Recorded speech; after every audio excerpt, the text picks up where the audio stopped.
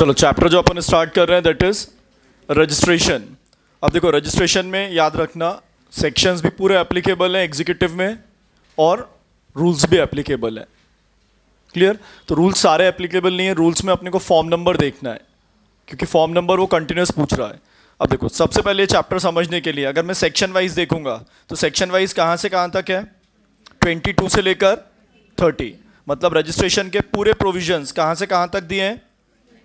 22 से लेकर 30 अब सबसे पहले देखो फ़र्स्ट पॉइंट रजिस्ट्रेशन क्या है? मोस्ट फंडामेंटल रिक्वायरमेंट किस चीज़ के लिए फंडामेंटल रिक्वायरमेंट है? आइडेंटिफिकेशन ऑफ़ टैक्स पेयर वापस समझना रजिस्ट्रेशन क्यों ज़रूरी है? क्योंकि ये किस चीज़ में हेल्प करता है? Identification of tax payer registration किसका होता है? बिज़नेस एंटिटी बिज़नेस एंटिटी जब रजिस्ट्रेशन लेते हैं तो गवर्नमेंट उसको काय के लिए यूज़ करती है? पर्पज ऑफ़ कलेक्टिंग टैक्स किसके बिहाफ में? गवर्नमेंट के बिहाफ में। और आप क्या क्लेम कर सकते हो? इनपुट टैक्स क्रेडिट काय पे?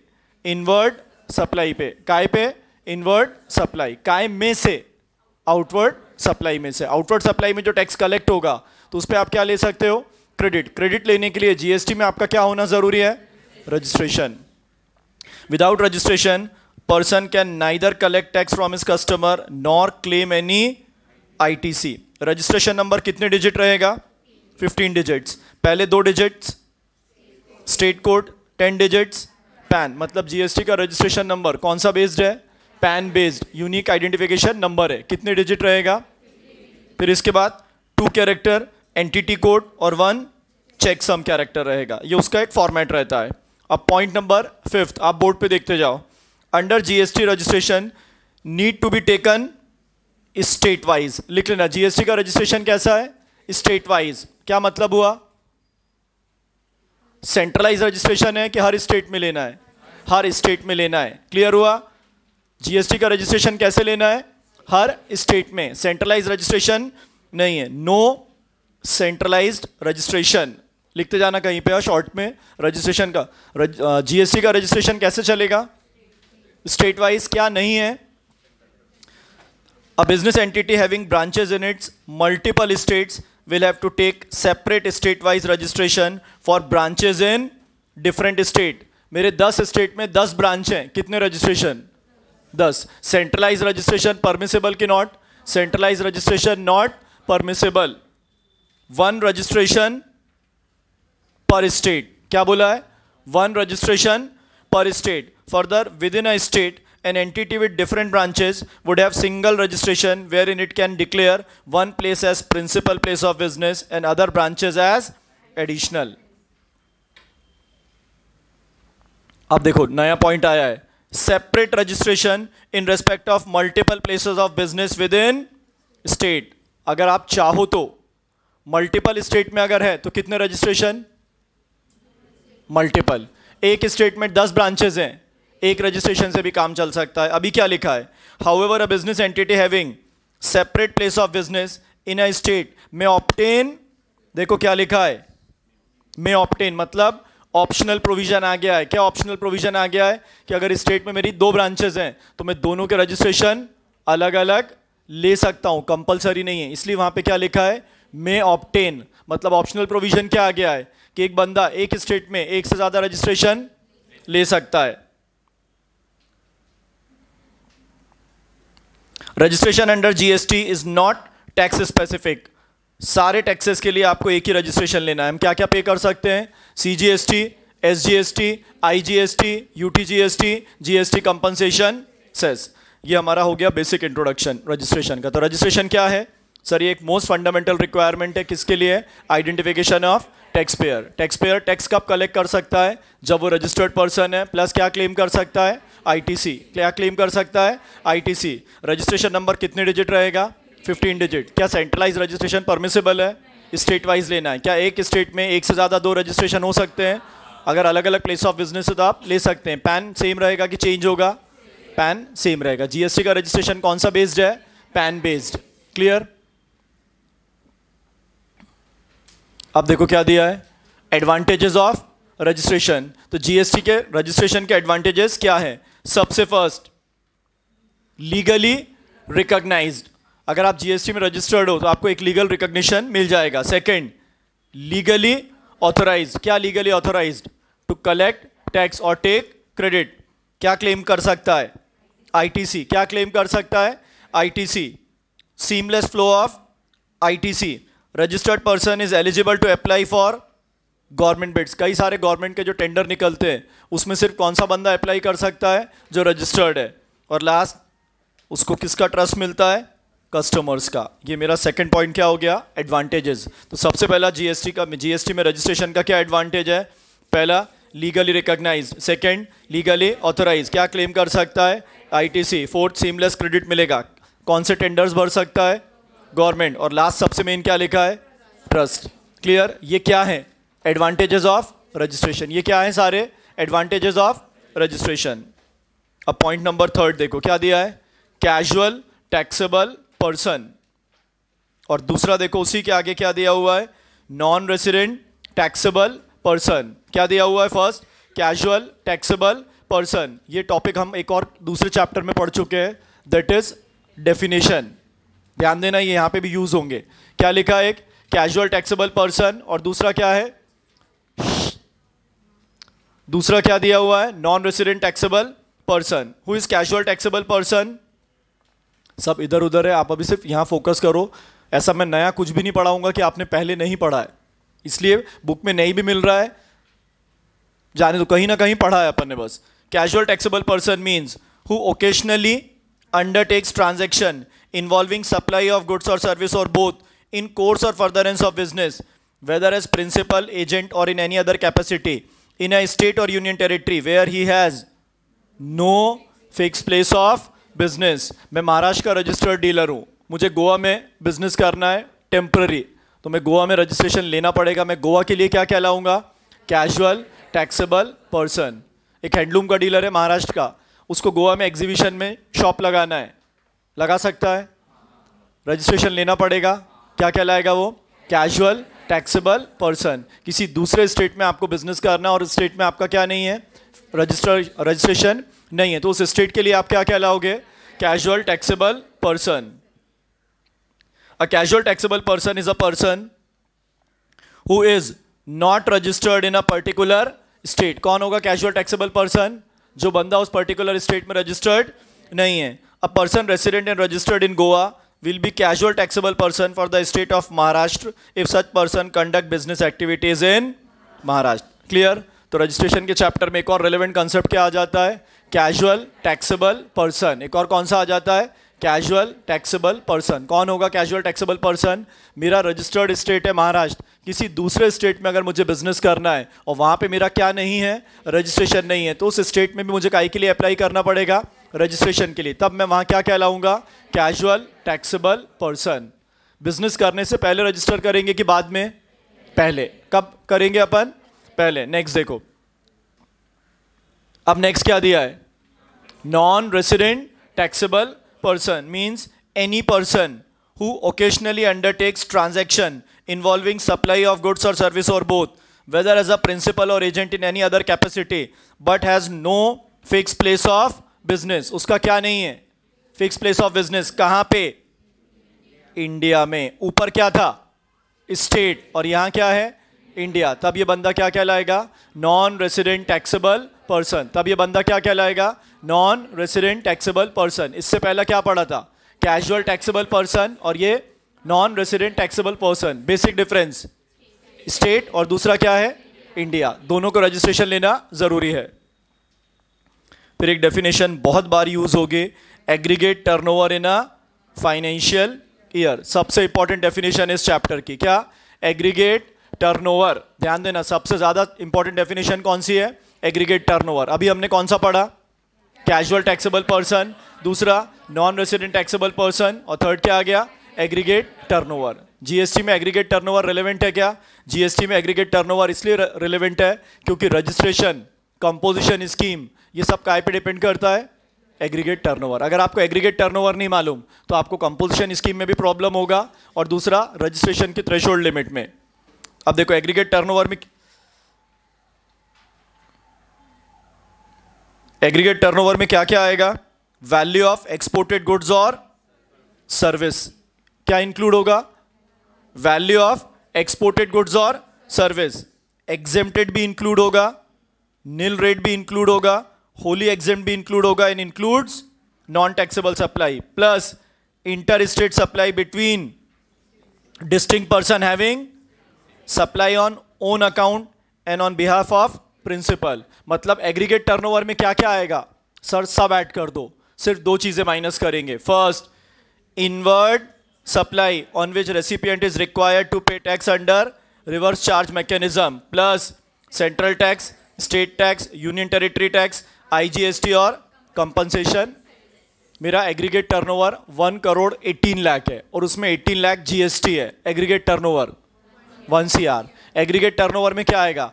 Taxable non taxable nil exported inter state सब ऐड करना है। सिर्फ़ तीन चीज़ें नहीं लेंगे। फ़र्स्ट आरसीएम पे सप्लाई प्लस टैक्सेस और सेस ये इंक्लूड रहेंगे क्या एग्रीगेट टर्नओवर में? ये कभी भी इंक्लूड नहीं होंगे। तो what is aggregate turnover aggregate turnover में क्या करना है? सारी चीज़ों को इंक्लूड करना है, दो चीज़ें छोड़ना है। Inward supply on which taxes payable under reverse charge plus taxes कौन कौन से taxes CGST SGST IGST UTGST और जीएसटी कंपनसेशन सेस क्या ये एग्रीगेट टर्नओवर का पार्ट हो सकते हैं? ये कभी भी एग्रीगेट टर्नओवर का पार्ट नहीं होंगे। टर्नओवर कैसे कंप्यूट होगा? पैन वाइज टर्नओवर कैसे कंप्यूट होगा? पैन वाइज पार्टनर और पार्टनरशिप फॉर्म का पैन सेम रहेगा कि अलग? डिफरेंट तो इसलिए दोनों का क्लब भी नहीं करेंगे. एचयूएफ का पैन अलग रहेगा को पार्सनर का पैन अलग. क्लियर अब ध्यान देना. अभी अपन ने क्या क्या देख लिया?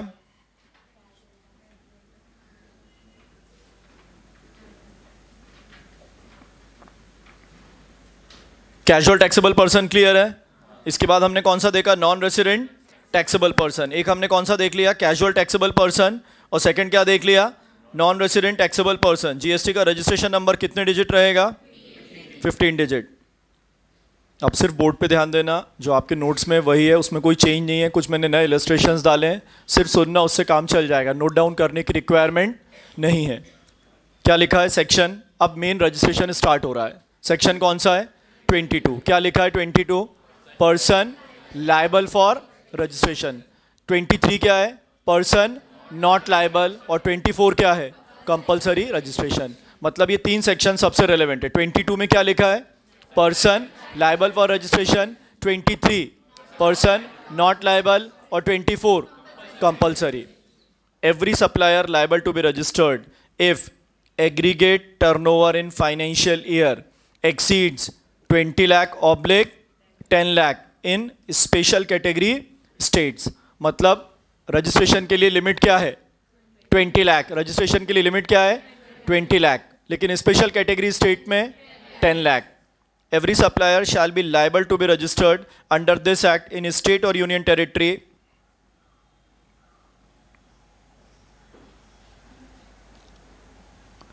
इन स्टेट और union territory other than special category states from where he makes a taxable supply of goods or services or both if aggregate turnover in financial year exceeds 20 lakh तो थ्रेशोल्ड लिमिट क्या है GST में registration की 20 lakh however if such an if such a person makes taxable supply of goods or service both from any special category state अब उसकी लिमिट कितनी हो जाएगी 10 लाख नॉर्मल स्टेट्स के लिए 20 लाख स्पेशल कैटेगरी स्टेट्स के लिए 10 लाख नेक्स्ट पॉइंट देखना.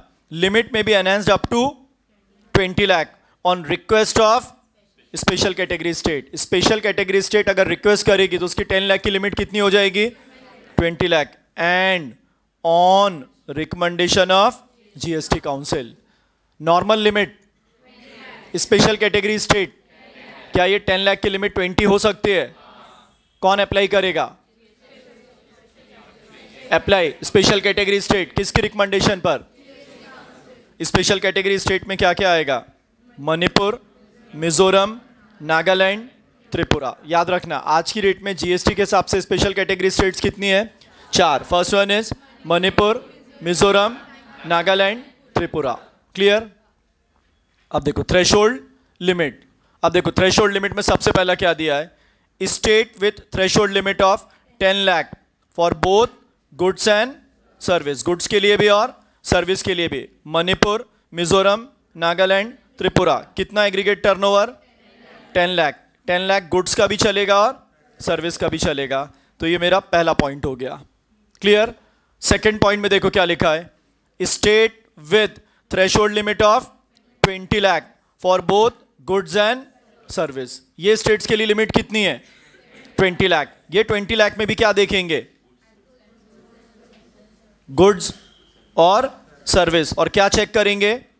एग्रीगेट टर्नओवर ये मेरा सेकंड पॉइंट हो गया। तो पहली लिमिट 10 लाख किसके लिए? Special category states goods as well as service second category goods as well as service लेकिन कौन कौन से स्टेट्स अरुणाचल प्रदेश मेघालय सिक्किम उत्तराखंड पांडिचेरी तेलंगाना याद है, पहले सारे स्पेशल कैटेगरी स्टेट में थे। अभी इनको अलग कर दिया। इनकी लिमिट कितनी एनहेंस कर दी?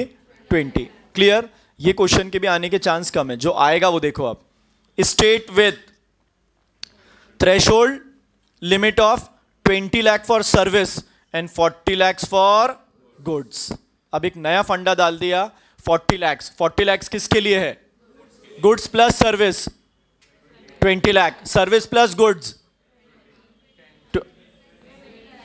rate ten कैसे? Goods plus service service plus goods only service only goods forty lakh only goods forty lakh clear मतलब चालीस लाख का जो लिमिट है, वो सिर्फ़ किसके लिए है? Person engage exclusively in supply of goods clear हुआ? याद रखना ten twenty twenty forty forty सिर्फ़ किसके लिए?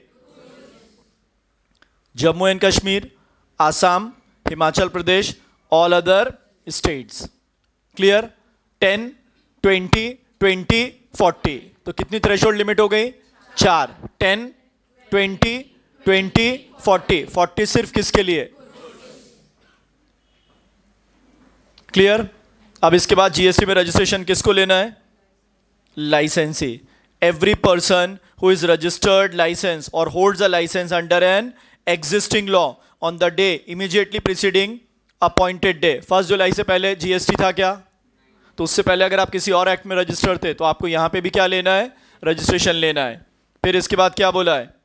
Transferee business which is carried by a taxable person is transferred as a going concern कल डिस्कस किया था ना सप्लाई में। अगर मैं अपना बिज़नेस ट्रांसफ़र कर रहा हूँ एज अ गोइंग कंसर्न तो जो ट्रांसफरी है, उसको रजिस्ट्रेशन के लिए क्या करना पड़ेगा? अप्लाई मैं अपना रजिस्ट्रेशन का क्या करूँगा? सरेंडर क्या करूँगा? सरेंडर फिर ट्रांसफरी अंडर स्कीम एमलगेमेशन या डिमर्जर? किसका ऑर्डर चेक करना है? हाई कोर्ट ट्रिब्यूनल और otherwise transferee shall be liable to be registered with effect from date of which R O C issues a certificate of incorporation ये question आ सकता है कि अगर ट्रांसफरी अंडर स्कीम है तो रजिस्ट्रेशन कब लेना है? हाई कोर्ट के ऑर्डर के बाद कि आरओसी के सर्टिफिकेट के बाद? आरओसी के सर्टिफिकेट के बाद. तो ये अपना कौन सा सेक्शन हो गया? 22 22 में क्या बोला है? सप्लायर थ्रेशोल्ड लिमिट एप्लीकेबल है। 10 20 40 क्या है थ्रेशोल्ड लिमिट 10 20 40 इसके बाद licensee then transferee then transferee under scheme amalgamation और डिमर्जर यहाँ पे रजिस्ट्रेशन के लिए कब अप्लाई करना है? आरओसी का सर्टिफिकेट मिलने के बाद। क्लियर अब देखो, मैं पाँच छह केसेस बता रहा हूँ सिर्फ़ आप सुन लेना मोर देन सफिशियंट है। सी एस फाइनल के लिए तो डिटेल में है। मैं आपको भी डिटेल बता रहा हूँ, लेकिन लिखने का, अलग से कॉपी करने की रिक्वायरमेंट नहीं है। प्रैक्टिकल चीज़ है। पृथ्वीराज ऑफ़ आसाम, आप सिर्फ़ अपनी लिस्ट खोल के रखो। आप सिर्फ़ अपना क्या ओपन करके रखो? लिस्ट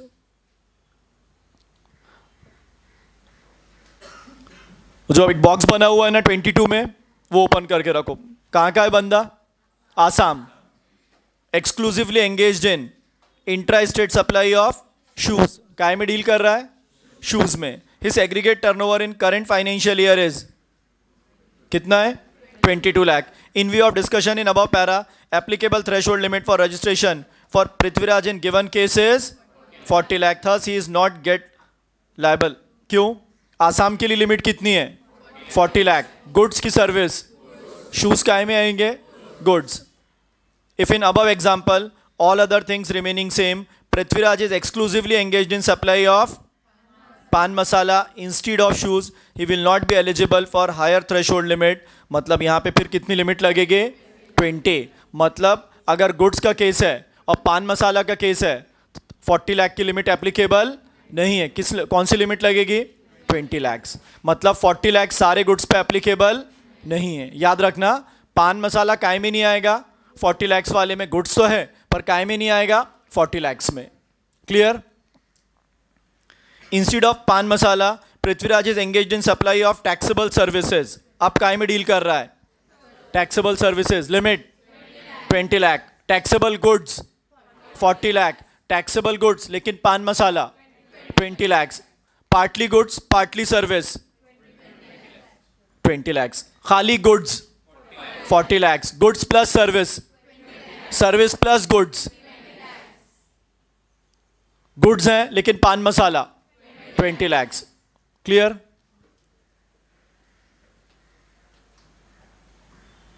ये फ़र्स्ट केस हो गया. क्लियर सेकंड देखो अब. Sultan of Telangana is exclusively अब तेलंगाना, किस कॉलम में देखो वहाँ पे? सेकंड में है ना? सेकंड में लिमिट 20 लाख 40 का बेनिफिट मिलेगा क्या? Goods as well as service interested supply of leather product it aggregate turn over in current financial year 25 five सिर्फ़ उनतालीस making taxable supply from Telangana he will not be eligible for higher threshold limit available in case exclusively तो इसके लिए limit कितनी रहेगी? Twenty lakh if in above example all other things remaining same Sultan is exclusively engage in supply of taxable service तब भी limit कितनी रहेगी? Both taxable है सर्विस और गुड्स तब भी क्या रहेगा? मतलब 40 वाला बेनिफिट सिर्फ़ कौन से इसमें मिलेगा, जो हमें कैटेगरी थ्री में दिया हुआ है, और वो भी सिर्फ़ किसके लिए है? गुड्स सर्विस अगर है 20 partly goods partly service 20 lakhs अब देखो, कौन सी स्टेट है? मणिपुर. किस कैटेगरी में दिया है? स्पेशल कैटेगरी है ना? तो यहाँ तो सारी चीज़ों के लिए limit 10 lakh Ashok of sorry Ashok of Manipur is exclusively engage in intra state supply of paper aggregate turnover कितना है? 12 lakh since Ashoka is making taxable supply from Manipur which is a special category state उसके लिए limit 10 lakh thus is liable to get registered under GST clear अब next देखो. All other thing remaining, same. Ashoka is exclusively engage in supply of taxable service तब भी limit कितनी रहेगी? Partly goods partly service क्यों? हमें एक ही चीज़ याद रखना है स्पेशल कैटेगरी स्टेट के लिए लिमिट कितनी है? Ten lakh ten lakh is applicable to goods as well as service तीन बॉक्स के तीन केसेस हो गए। अब थोड़ा सा मैं चेंज कर रहा हूँ। पॉइंट नंबर फोर ध्यान देना। Raghav of Assam is exclusively engaged in intra-state supply of ready-made garment. It turnover in current financial year from Assam कितना है? 20 आसाम के लिए लिमिट। 40 आसाम के लिए गुड्स की लिमिट कितनी है? It has another showroom in Tripura. Tripura काय में आ रहा है? स्पेशल कैटेगरी स्टेट फ़र्स्ट में आ रहा है ना? Turnover of rupees 11 lakh since Raghav is engaged in supplying garment from special category, state, applicable threshold limit कितनी हो जाएगी? मतलब आपका एक ब्रांच कहाँ पर है? नॉर्मल स्टेट और एक ब्रांच कहाँ है? Special category. तो आपको थ्रेश लिमिट कहाँ की लगेगी? स्पेशल कैटेगरी स्टेट की। याद रखना, इस पे एमसीक्यू है। क्लियर मान लो मेरा एक पूना में काम है। सेम पेन से स्पेशल कैटेगरी स्टेट 40 लाख की 10 लाख क्यों 10 lakh special category state Uday enterprises engage in supply of taxable goods in Maharashtra मतलब वो कहाँ से रजिस्टर्ड होगा? पक्का? It also supply alcoholic liquor for human consumption from Nagaland अब नागालैंड देखो किसमें दिया है। स्पेशल कैटेगरी है ना? तो वहाँ लिमिट कितनी है? Its turn over in current financial year Maharashtra में कितना है? 34 four lakh and eight lakh in Nagaland since Uday enterprises exclusively engage in making taxable supply of goods from Maharashtra applicable threshold limit for obtaining registration is 40. However threshold limit will not to 10 lakh in this case as supply of alcoholic liquor क्या है? Outside the ambit of GST तो इसके लिए limit कितनी रहेगी? मान लो अगर alcoholic liquor के अलावा कुछ और सप्लाई करता देन लिमिट कितनी हो जाती? टेन अभी टेन क्यों नहीं हुई? क्योंकि वो क्या सप्लाई कर रहा है? Alcoholic liquor for human consumption clear 22 में सबसे ज़्यादा क्वेश्चन आने के चांसेस हैं। थ्रेश लिमिट एक बार फिर रिवाइज करा रहा हूँ। Special category state 10 other than that 20 40 सिर्फ़ किसके लिए? गुड्स के लिए। क्या पार्टली गुड्स पार्टली सर्विस 10 कि 20 20 पान मसाला 20 याद रखना ये हाँ? अब देखो कौन सा सेक्शन है? 23 अभी हमने कौन सा देखा? 22 22 क्या था? पर्सन लाइबल फॉर रजिस्ट्रेशन अब कौन सा दिया हुआ है? Twenty three the following person shall not be liable to registration namely person engage exclusively in business of supplying goods और सर्विसेज़ और both that are not liable to tax और wholly exempt from tax under this act और under I G S T और दूसरा क्या बोला है? Agriculturist इन लोगों को जीएसटी में रजिस्ट्रेशन लेने की रिक्वायरमेंट नहीं है। किस सेक्शन के अकॉर्डिंग 23 दो केसेस में ध्यान देना। A farmer produce goods through cultivation from his own land and supply the same to traders the goods of supply during the whole of the year aggregates to 21 one lakh he is not liable to get registration in the terms of section 23 three one sub section clause B क्योंकि वो क्या हो जाएगा? Agriculture is लेकिन याद रखना chapter two definition में agriculture is सिर्फ़ कौन हो सकता है? इंडिविजुअल और H U F agriculture is सिर्फ़ कौन हो सकता है? इंडिविजुअल और एच यू एफ़ अब सेकेंड देखो. In above case if said farmer A in addition to supply of cultivated goods worth rupees twenty one lakh also supplies cultivated sorry goods cultivated by his friend B worth rupees five lakh which is is trading business to other traders. Then in such case, his aggregate turnover exceeds threshold limit of 20 lakh. Hence, he will be liable for registration. पहले case में क्यों नहीं लिया? क्योंकि वो खुद agriculturist था। दूसरे केस में एग्रीकल्चरिस्ट तो था और साथ में अपने फ्रेंड्स के गुड्स को भी क्या कर रहा था? सप्लाई तो उसको रजिस्ट्रेशन लेना पड़ेगा। ध्यान देना यहाँ। अब सेकंड में उन्होंने देखो क्या बोला है? गवर्नमेंट क्या? रिकमेंडेशन किसकी? काउंसिल लोगों को क्या किया है? एग्ज़ाम नोटिफाई करके रखा है कि इन लोगों को रजिस्ट्रेशन लेने की रिक्वायरमेंट नहीं है। सबसे first if all supplies are under RCM सारे सप्लाई किसमें है? आरसीएम तो रजिस्ट्रेशन लेने की रिक्वायरमेंट नहीं है। आप क्या हो? जॉब वर्कर ध्यान देना क्वेश्चन मिलेगा। आप क्या हो? जॉब वर्कर काय में इंगेज हो? इंटर स्टेट सप्लाई काय का? सर्विसेज़ गुड्स नहीं। आप क्या हो? जॉब वर्कर कौन सा सप्लाई कर रहे हो? अब देखो 24 जब पढ़ेंगे तो उसमें लिखा हुआ है कि इंटर स्टेट सप्लायर को रजिस्ट्रेशन लेना मैंडेटरी है। पर 23 में क्या लिख दिया? अगर आप जॉब वर्कर हो इंटर स्टेट सप्लायर हो, और क्या सप्लाई कर रहे हो? Services exempt from obtaining registration if turnover up to rupees twenty lakh जबकि ट्वेंटी फोर क्या बोल रहा है? कंपलसरी है। किसके लिए? इंटर स्टेट सप्लायर के लिए। लेकिन 23 में नोटिफिकेशन क्या आ गया? Job worker inter state supplier aggregate turnover up to rupees twenty lakh exempt 22 lakh taxable liable to registration clear person making inter state supply of taxable service कहाँ तक? 20 लाख ये 24 का एक्सेप्शन है। जबकि 24 में क्या लिखा हुआ है? इंटर स्टेट सप्लायर ऑप्शनल की कंपलसरी लेकिन ये दो क्या दिए हुए हैं? एक्सेप्शन इसके बाद casual taxable person inter state supplier है। काय का? हैंडीक्राफ्ट गुड्स या क्राफ्टमैन प्रोडक्ट टर्नओवर कहाँ तक है? 20 लाख रजिस्ट्रेशन लेने की रिक्वायरमेंट नहीं है। क्लियर फिर देखो, ये भी अपन पढ़ चुके हैं। Intra state supply exclusively of goods up to rupees forty lakhs इसमें किसको नहीं आएगा? एक्सेप्शंस दिए कंपलसरी आइसक्रीम उसके बाद टोबैको इंट्रा स्टेट सप्लाई कहाँ पे? अरुणाचल प्रदेश मणिपुर मेघा जो बॉक्स पड़ा है ना वही पढ़ के छोड़ देना। Opted for voluntary registration clear तो अभी दो सेक्शन कौन कौन से हो गए? 22, 23, 24. 22 क्या है? लाइबल 23 अब 24 में देखो सबसे फ़र्स्ट क्या लिखा है? कंपलसरी इसका पहला वर्ड देखो. इंटर स्टेट क्या इस पॉइंट पे कुछ एक्सेप्शंस हैं? कौन से इसमें दिए हैं? 23 कहाँ पर दिए हैं? 23 क्लियर तो यहाँ पे याद रखना और कौन सा सेक्शन देखना है? 23 ये तीनों एक साथ पढ़ना. पहले 22, 23, 24 के बाद वापस क्या देखना? इसके बाद casual taxable person registration liable है कि कंपलसरी कंपलसरी उसके बाद payer of reverse charge registration क्या हो जाएगा?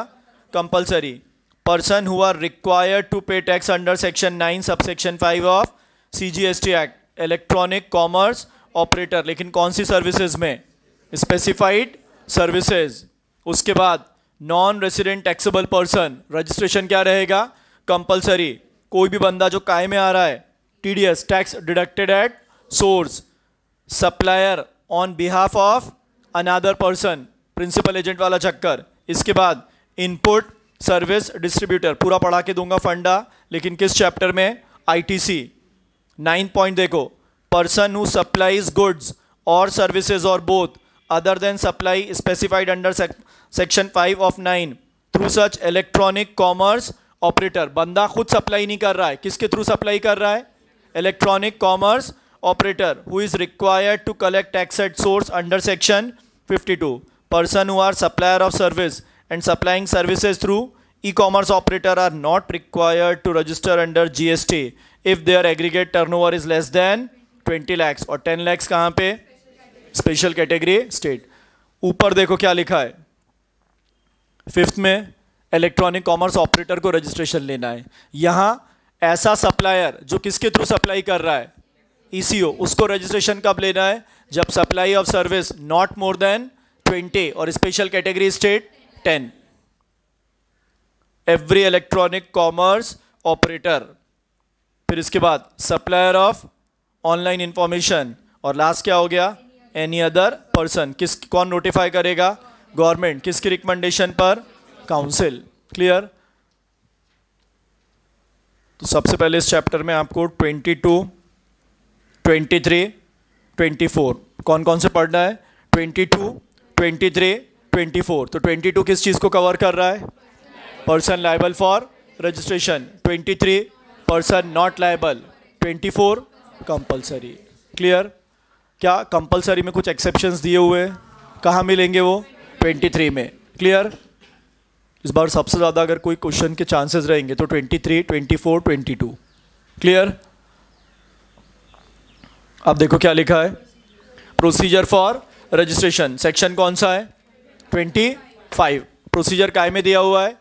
ट्वेंटी फाइव अभी तक हमने क्या पढ़ लिया?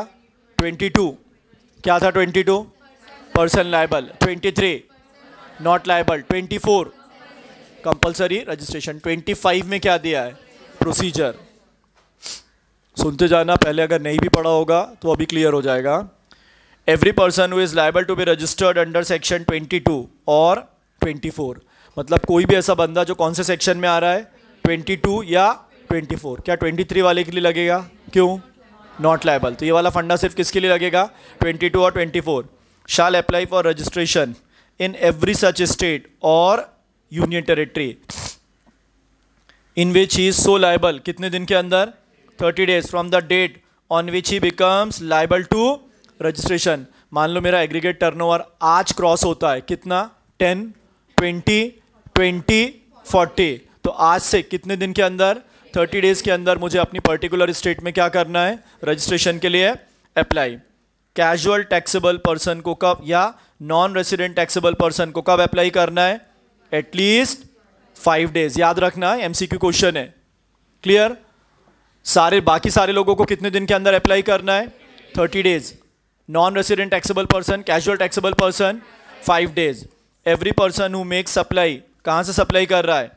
टेरिटोरियल वाटर ऑफ़ इंडिया कितना रहता है टेरिटोरियल वाटर 12 नॉटिकल माइल्स कहाँ से काउंट किया जाता है? Appropriate base line what is base line अरे base line lower water mark clear याद रखना. चलता. क्या दिया है आगे? Shall obtain registration in coastal state और union territory where nearest point of appropriate base line is located बंदा सप्लाई कहाँ से कर रहा है? टेरिटोरियल वाटर टेरिटोरियल वाटर कहाँ तक? 12 नॉटिकल माइल जिस स्टेट से नियरेस्ट बेस लाइन होगा, उस स्टेट में वो रजिस्ट्रेशन के लिए अप्लाई करेगा। कितने दिन के अंदर अप्लाई करना है नॉर्मल केस में? Casual taxable person non resident taxable person अगर आपकी यूनिट कहाँ पे है? स्पेशल इकोनॉमिक जोन या आप स्पेशल इकोनॉमिक जोन के क्या हो? डेवलपर देखो, बात ही खत्म। क्या बोला है? आपको सेपरेट एप्लीकेशन देना है काय के रजिस्ट्रेशन की। मान लो मेरा बिज़नेस पूना में है तो मैं पूना में तो अप्लाई करूँगा। और मान लो मेरी एक यूनिट एस जेड में है तो मुझे दो बार अप्लाई करना पड़ेगा। पूना का अलग रहेगा और एस जेड के लिए सेपरेट एप्लीकेशन क्लियर फ़र्स्ट अब सेकेंड पॉइंट ध्यान देना, इसमें छोटा सा चेंज है। Person seeking registration under this act shall be granted single registration in a state और यूनियन टेरिटरी मेरा चार स्टेट में बिज़नेस है। कितने रजिस्ट्रेशन अरे चार स्टेट चार। पाँच स्टेट बीस स्टेट हर जगह इंडिया में बिज़नेस है। हर स्टेट यूनियन टेरिटरी में क्या लेना है? रजिस्ट्रेशन क्योंकि सेंट्रलाइज रजिस्ट्रेशन नॉट एप्लीकेबल नहीं है कि जगह क्या आएगा? नॉट एप्लीकेबल मिलता नहीं है नहीं ऑप्शन में। क्या हो जाएगा? नॉट एप्लीकेबल अभी देखो उन्होंने एक नया डाल दिया। Separate registration for each place of business कौन सा प्रोविज़न है? ऑप्शनल प्रोविज़न अगर आप चाहो तो। लेकिन कब? A person having multiple business places in a state और यूनियन टेरिटरी डिफरेंट स्टेट है, तब क्या है? मल्टीपल रजिस्ट्रेशन एक स्टेट में डिफरेंट प्लेसेस हैं। तो पहले क्या था? एक ही रजिस्ट्रेशन था। और आज क्या हो गया? मल्टीपल मैंडेटरी के ऑप्शनल ऑप्शनल ये पॉइंट है चेंज का। ध्यान देना, चार स्टेट में बिज़नेस है। चार। एक स्टेट में तीन प्लेस है। एक भी हो सकता है, तीन भी हो सकता है, लेकिन मैंडेटरी के ऑप्शनल ऑप्शनल अब देखो क्या दिया है। A person through not liable to be registered under 22 में भी नहीं आ रहा 24 में भी नहीं आ रहा। मतलब कंपलसरी भी नहीं है और लाइबल भी नहीं है तब वो रजिस्ट्रेशन ले सकता है। तो क्या कहलाता है? वॉलेंट्री अब बोलो रजिस्ट्रेशन कितने टाइप के हो गए? तीन। कंपलसरी रजिस्ट्रेशन 24, 22, लाइबल और एक और कौन सा हो गया? Voluntary a person who has obtain और required to obtain more than one registration whether in one state और यूनियन टेरिटरी और मोर देन वन स्टेट और union territory shall in respect of each such registration be be treated as क्या माना जाएगा? Distinct person पढ़ा था कल supply में 25 फाइव सबसेक्शन फोर तो ये है। नेक्स्ट देखो। A person who has obtain और is required to obtain registration in a state और union territory in respect of an establishment has an establishment in another state और union territory then such establishment shall be treated as establishment of distinct person एक state से दूसरे state में हमेशा क्या माना जाएगा? डिस्टिंग पर्सन एक स्टेट से दूसरे स्टेट में हमेशा क्या माना जाएगा? पैन नंबर सेम होगा कि अलग?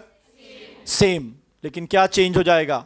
स्टेट कोड क्या चेंज हो जाएगा? स्टेट कोड स्टेट कोड कहाँ से पता चलेगा? रजिस्ट्रेशन नंबर के पहले दो नंबर रहते हैं, वो क्या कहलाते हैं? State code every person shall have permanent account number मतलब जीएसटी में रजिस्ट्रेशन लेने के लिए हर बंदे के पास क्या होना चाहिए? परमानेंट अकाउंट नंबर क्योंकि जीएसटी का रजिस्ट्रेशन क्या है? PAN based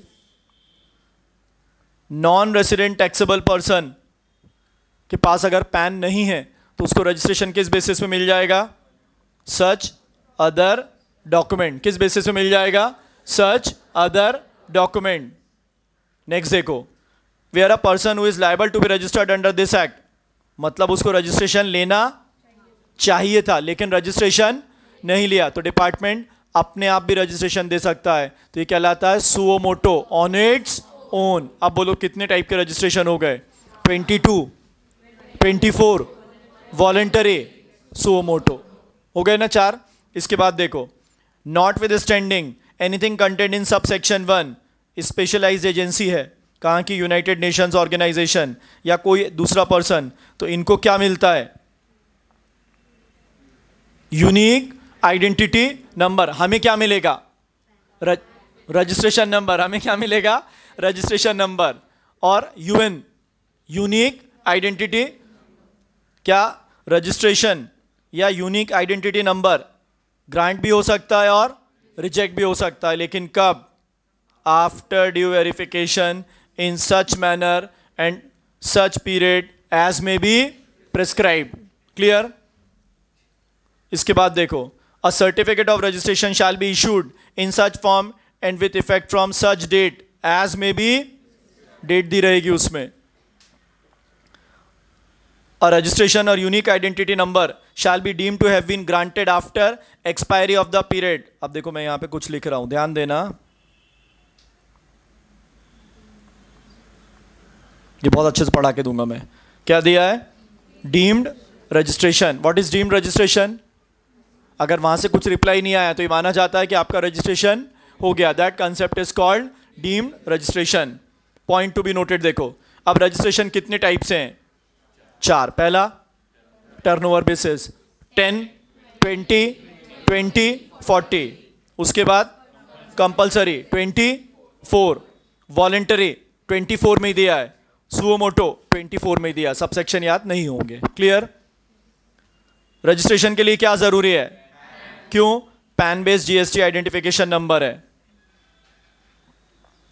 how However, in case a person is required to deduct tax under section 51, registration can be obtained on the basis of TAN specialize agency को registration number मिलता है क्या? नहीं. उनको क्या मिलता है? यूनिक आइडेंटिटी नंबर तो ये अभी अपन ने कौन सा सेक्शन पढ़ लिया? 25 22 person liable for registration 23 not liable 24 compulsory 25 procedure 25 procedure अब याद है जब अपन ने रेगुलर क्लास में पढ़ा था तो मैंने 25 के साइड में कुछ लिखवा के दिया था। एट नाइन टेन क्लियर कौन कौन से रूल्स पढ़ना है? Rule eight nine ten clear याद ध्यान देना। पहले अगर रूल नहीं भी पढ़े हैं तो अभी ध्यान से सुनो, काम चल जाएगा। और रूल एग्जीक्यूटिव में भी है और फाइनल में भी है।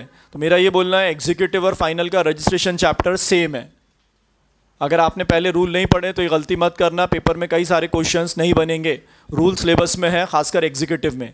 जब एग्जीक्यूटिव में है तो इम्प्लाइड मीनिंग फाइनल में भी रहेगा। तो 25 के साथ हमेशा क्या क्या पढ़ना है? एट नाइन टेन ट्वेंटी के साथ क्या पढ़ना है? Eight nine ten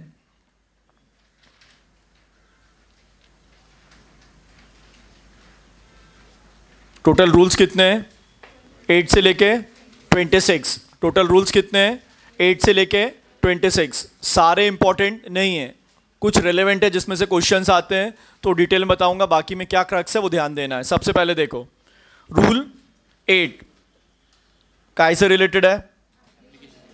Application for registration rule eight काय से रिलेटेड है?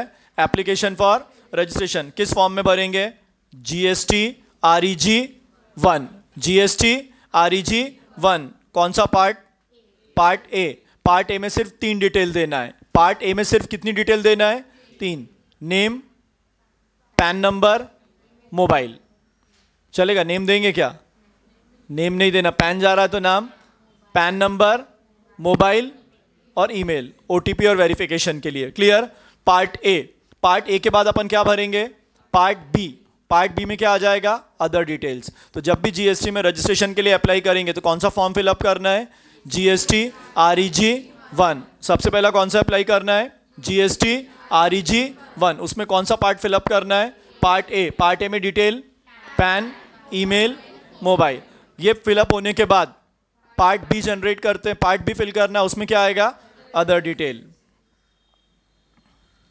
provided that further every person being an input service distributor shall make separate application for registration अब ऐसे दो लोग बताओ जिनको सेपरेट एप्लीकेशन देना है रजिस्ट्रेशन के लिए। एस e और आई कौन कौन हो गया? एस e और I clear permanent account number क्या होगा? वैलिडेट होगा ऑनलाइन काय पे? कॉमन पोर्टल कहाँ से? डेटाबेस मेंटेन बाय सीबीडीटी उसके बाद मोबाइल नंबर और ईमेल काय के लिए यूज़ होंगे?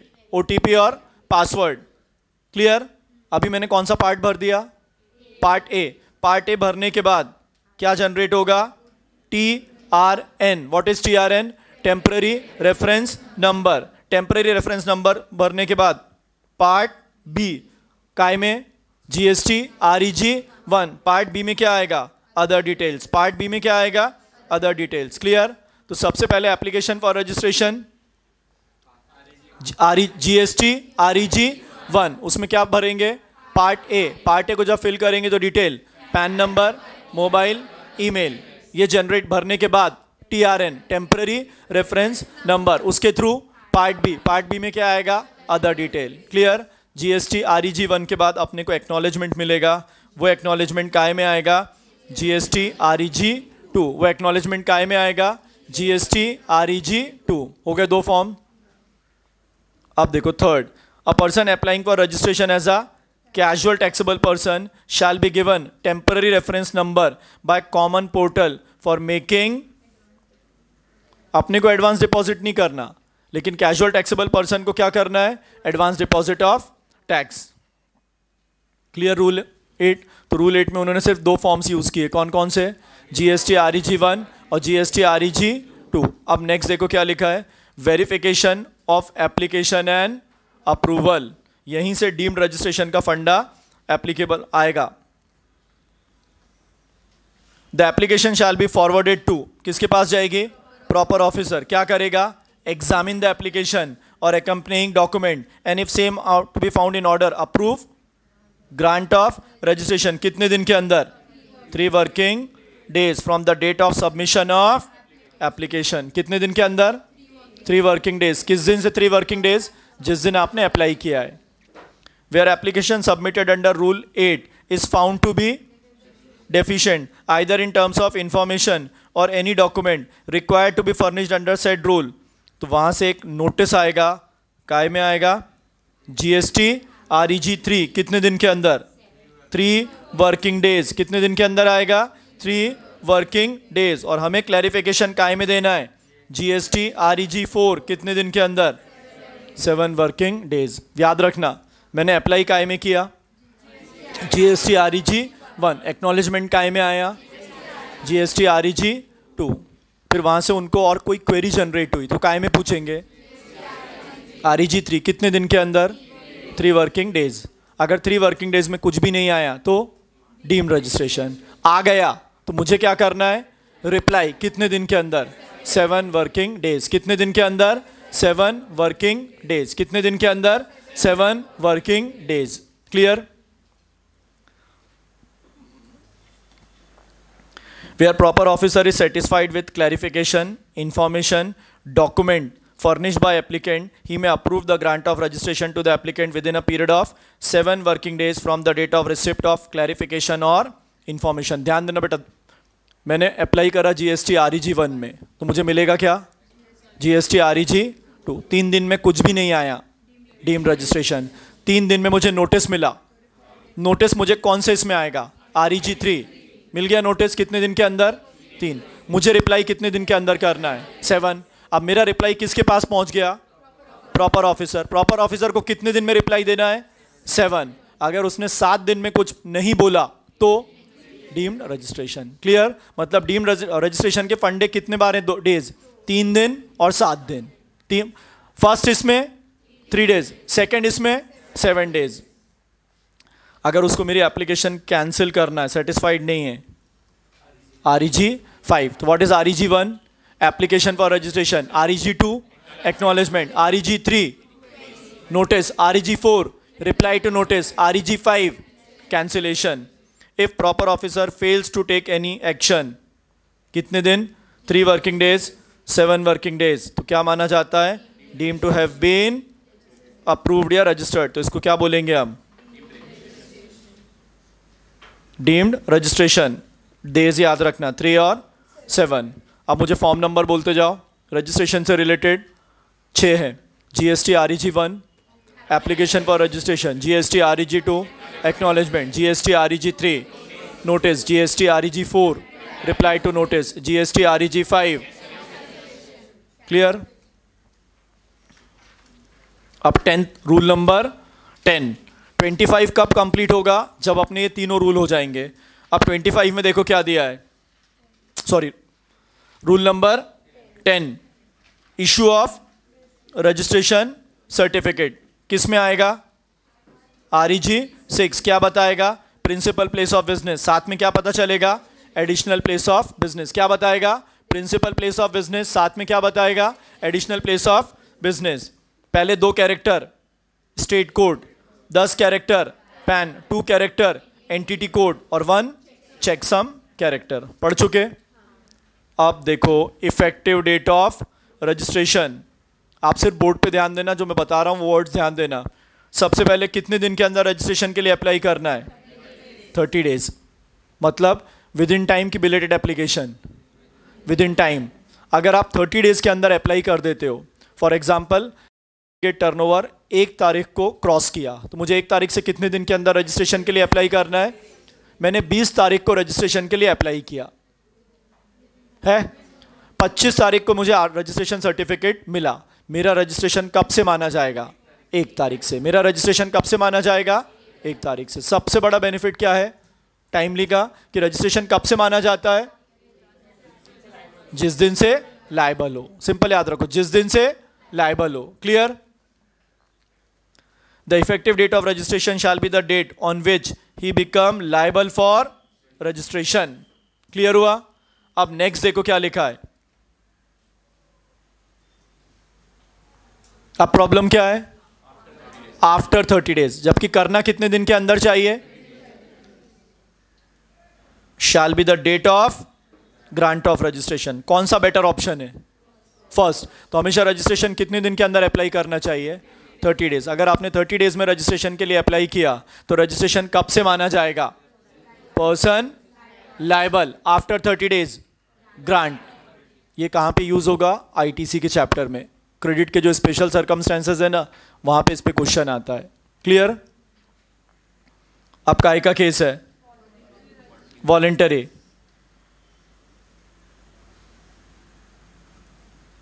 date of order of registration date of order of registration casual taxable person या non resident taxable person at least five days prior to commencement of business आपको exam में जो आने वाला है वेदर इट इज़ एग्जीक्यूटिव और final तो thirty days वाला है. रजिस्ट्रेशन के लिए कितने दिन के अंदर अप्लाई करना है? Within thirty days thirty days में अंदर अगर अप्लाई किया तो उसके सबसे बड़ा बेनिफिट क्या है? किस दिन से माना जाएगा? Person liable after thirty days of registration voluntary order voluntary order casual taxable person और non resident taxable person within five days sign और वेरीफाई किसके थ्रू होता है?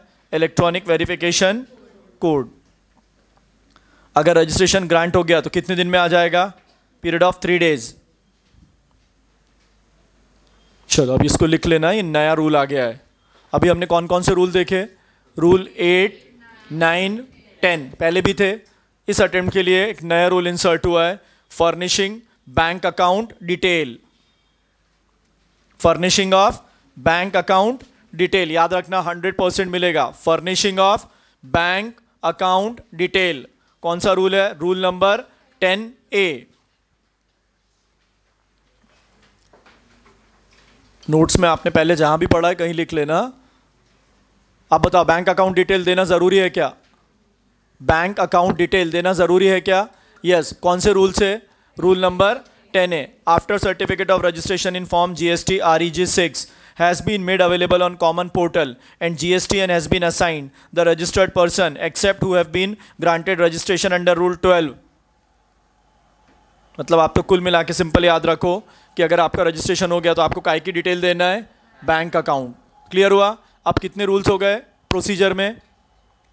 Eight, nine, ten ten A. Ten A समझ में आ गया। Ten A में सिर्फ़ क्या दिया है?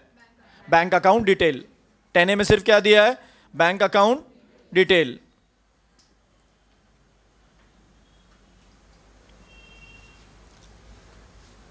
क्या फर्निश करना है अपने को?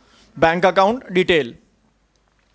after a certificate of registration in form number GST R E G has been made available on अपना आरसी आ गया कि नहीं आरसी आ गया and GST N has been assigned registered person और as the case may be rule 16 as soon as but not later than 45 days किस दिन से from date of grant of registration और date on which return required under 39 is due to be furnished which ever is earlier furnish information With respect to details of bank account तो bank account की detail कब तक देना है? Grant of registration और 45 days तो है, लेकिन क्या क्या देखना है? डेट ऑफ़ रिटर्न और grant of registration whichever is earlier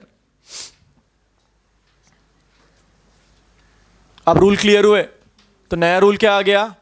bank account detail नया रूल क्या आ गया? बैंक अकाउंट डिटेल पहले नहीं था, ये अभी आया है। क्लियर है? ये वापस देखना, पहले बिल्कुल भी नहीं दिया था एमसीक्यू के लिए याद रखना, कौन सा रूल है? Rule number ten A ten A में सिर्फ़ काय की डिटेल देना है? बैंक अकाउंट डिटेल क्लियर तो अभी प्रोसीजर के साथ कौन कौन से रूल देखना है? Eight nine ten ten A eight nine ten और टेन ए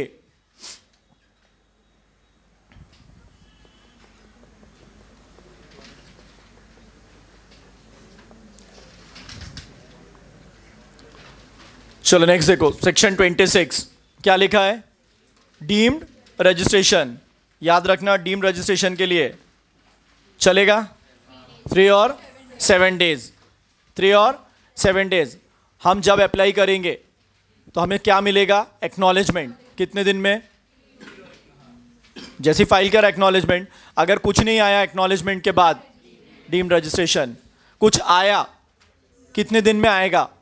थ्री डेज़ हमें कितने दिन में रिप्लाई करना है? सेवन वर्किंग डेज़ क्लियर हमारे से सेटिस्फाइड नहीं है R E G five satisfied है? डीम्ड मिल सकता है? कितने दिन में? Seven days first time three days second time R E G one application R E G two R E G three R E G four reply to notice R E G five cancellation R E G six certificate of registration अब ninth देखो क्या दिया है। अब special provision दिए किसके लिए? Casual taxable person and non resident taxable person section कौन सा हो गया? 27 22 person liable for registration 23 not liable 24 compulsory 25 procedure read with 8 9 10 10 A अब क्या दिया है? देखो नेक्स्ट डीम नहीं है। क्या दिया है? स्पेशल प्रोविज़न काय के लिए है? कैजुअल टैक्सेबल पर्सन और non resident taxable person the certificate of registration issued to casual taxable person और non resident taxable person shall be valid for the period specified in the application और वो period क्या है? Ninety days from effective date of registration whichever is earlier provided that proper officer may, on sufficient cause being shown by the said taxable person, extend the said period of 90 days by a further period not exceeding 90 days. Clear हुआ? मतलब casual taxable person और non resident taxable person का registration कितने दिन के लिए रहता है? 90 डेज़ और period mention in registration certificate whichever is earlier क्या एक्सटेंशन हो सकता है? But not later than 90 days इस बंदे को क्या करना पड़ेगा? Advance deposit of tax. क्या करना पड़ेगा? Advance deposit of tax. किस बेसिस पे? एस्टिमेटेड टैक्स लाइबिलिटी के बेसिस पे. ये एडवांस डिपॉजिट कहाँ क्रेडिट होगा? इलेक्ट्रॉनिक कैश लेजर एक पढ़ा था ना payment chapter E liability ledger E credit ledger E cash ledger तो जैसे ही आप कैश एडवांस डिपॉजिट करोगे कहाँ चला जाएगा? E electronic cash ledger extension है क्या? यस yes, कितने दिन का? 90 days in case of other registered person registration certificate once granted is permanent unless surrendered cancelled suspended और रिवोक सिर्फ़ टाइम बेस्ड रजिस्ट्रेशन किसका है कैजुअल टैक्सेबल पर्सन और नॉन रेसिडेंट टैक्सेबल पर्सन बाकी सबका रजिस्ट्रेशन क्या रहता है परमानेंट रहता है जब तक वो क्या नहीं हो रहा है सरेंडर कैंसिल सस्पेंडेड और रिवोक पॉइंट नंबर टेन क्या दिया हुआ है कैजुअल टैक्सेबल पर्सन और non resident taxable person person who occasionally undertakes transaction involving supply of goods और सर्विस और बोथ इन कोर्स और furtherance of business whether as principal और एजेंट इन अ स्टेट जहाँ पे उसका क्या नहीं है फिक्स प्लेस ऑफ़ बिज़नेस तो बंदा क्या कहलाएगा? कैजुअल टैक्सेबल पर्सन वो बंदा क्या कहलाएगा? कैजुअल टैक्सेबल पर्सन अगर इंडिया का चक्कर है आउटसाइड वाला then non resident taxable person occasionally undertakes transaction where he has no fix place of business in a state और यहाँ क्या लिखा है? Place business residence in India इसके पास क्या होना ज़रूरी है? पैन इसके पास क्या नहीं है? पैन नहीं है. अदर डॉक्यूमेंट लेकिन अगर पैन है तो उसको काय में रजिस्ट्रेशन कर देंगे हम. कैजुअल टैक्सेबल पर्सन याद रखना क्या नॉन रेसिडेंट का as a casual taxable person में रजिस्ट्रेशन हो सकता है? सिर्फ़ एक ही कंडीशन है। जब उसके पास क्या है?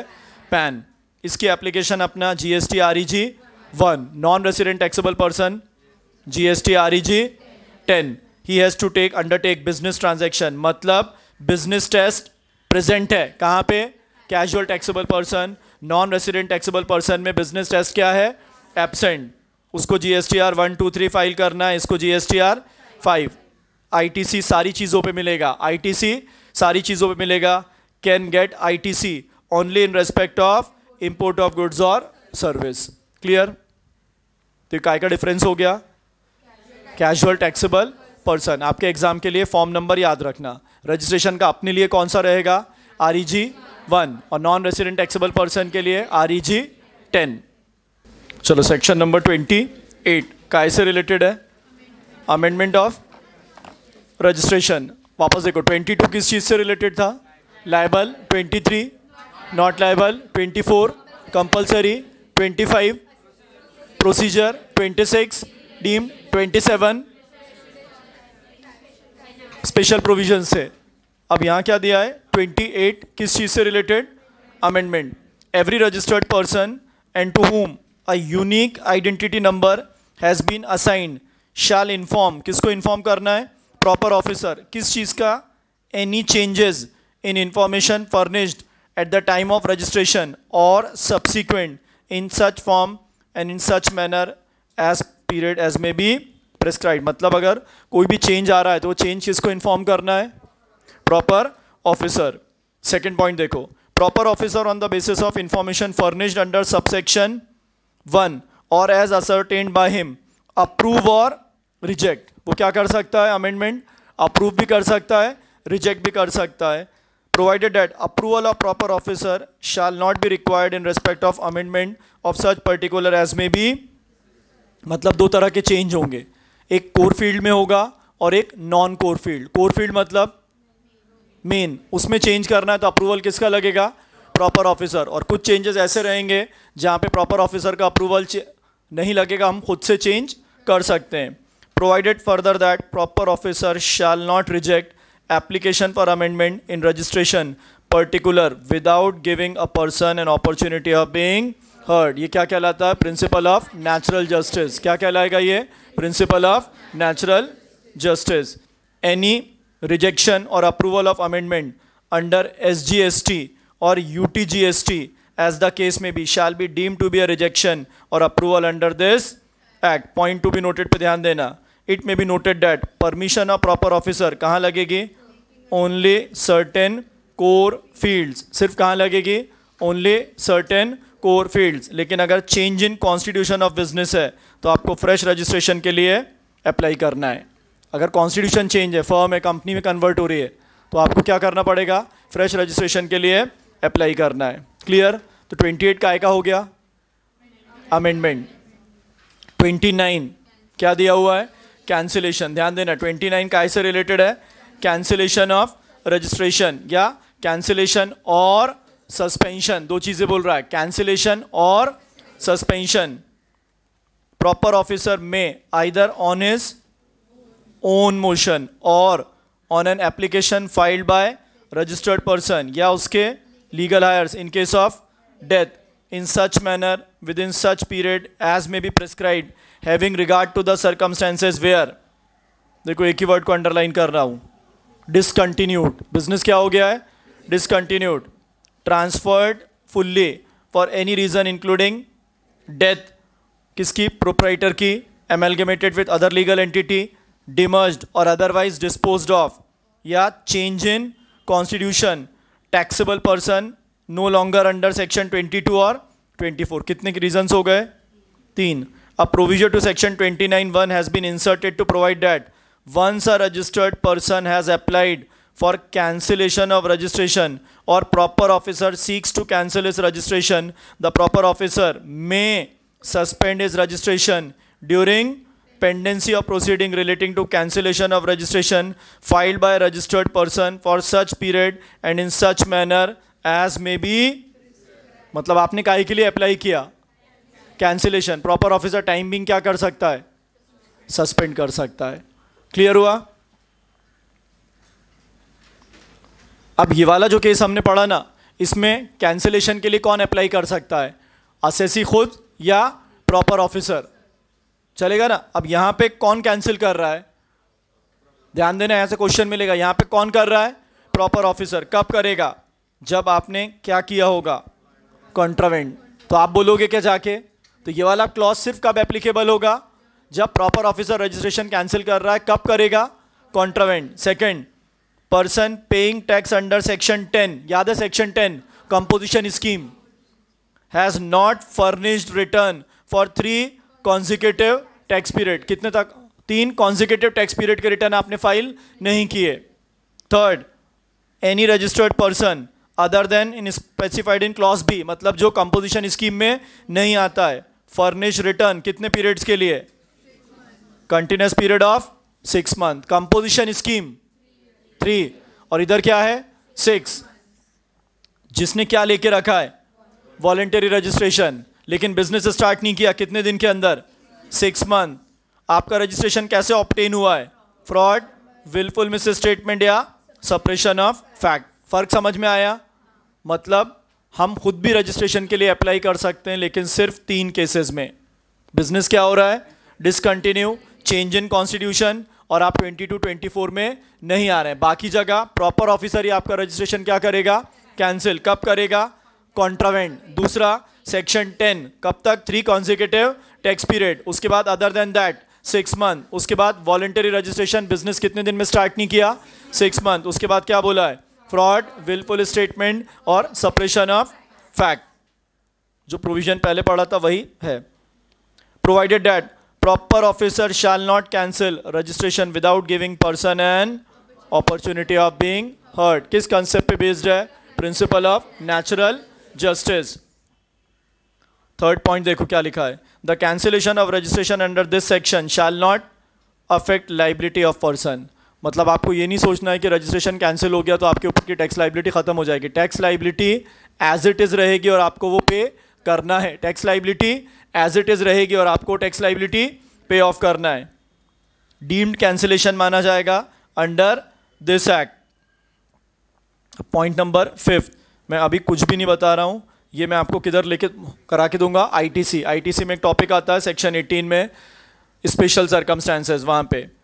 Amount calculated, sorry, amount payable under subsection 5 shall be calculated in such manner as may be prescribed. बस इसमें एक ही नया चेंज है नोट्स में इनकॉर्पोरेटेड है, वो ध्यान देना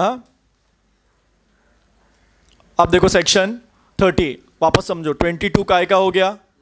Liable 23 not liable 24 compulsory 25 procedure procedure read with 8 9 10 नया कौन सा आया?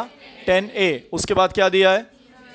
डीम रजिस्ट्रेशन स्पेशल के लिए 27 अमेंडमेंट 28 29 क्या हो गया है?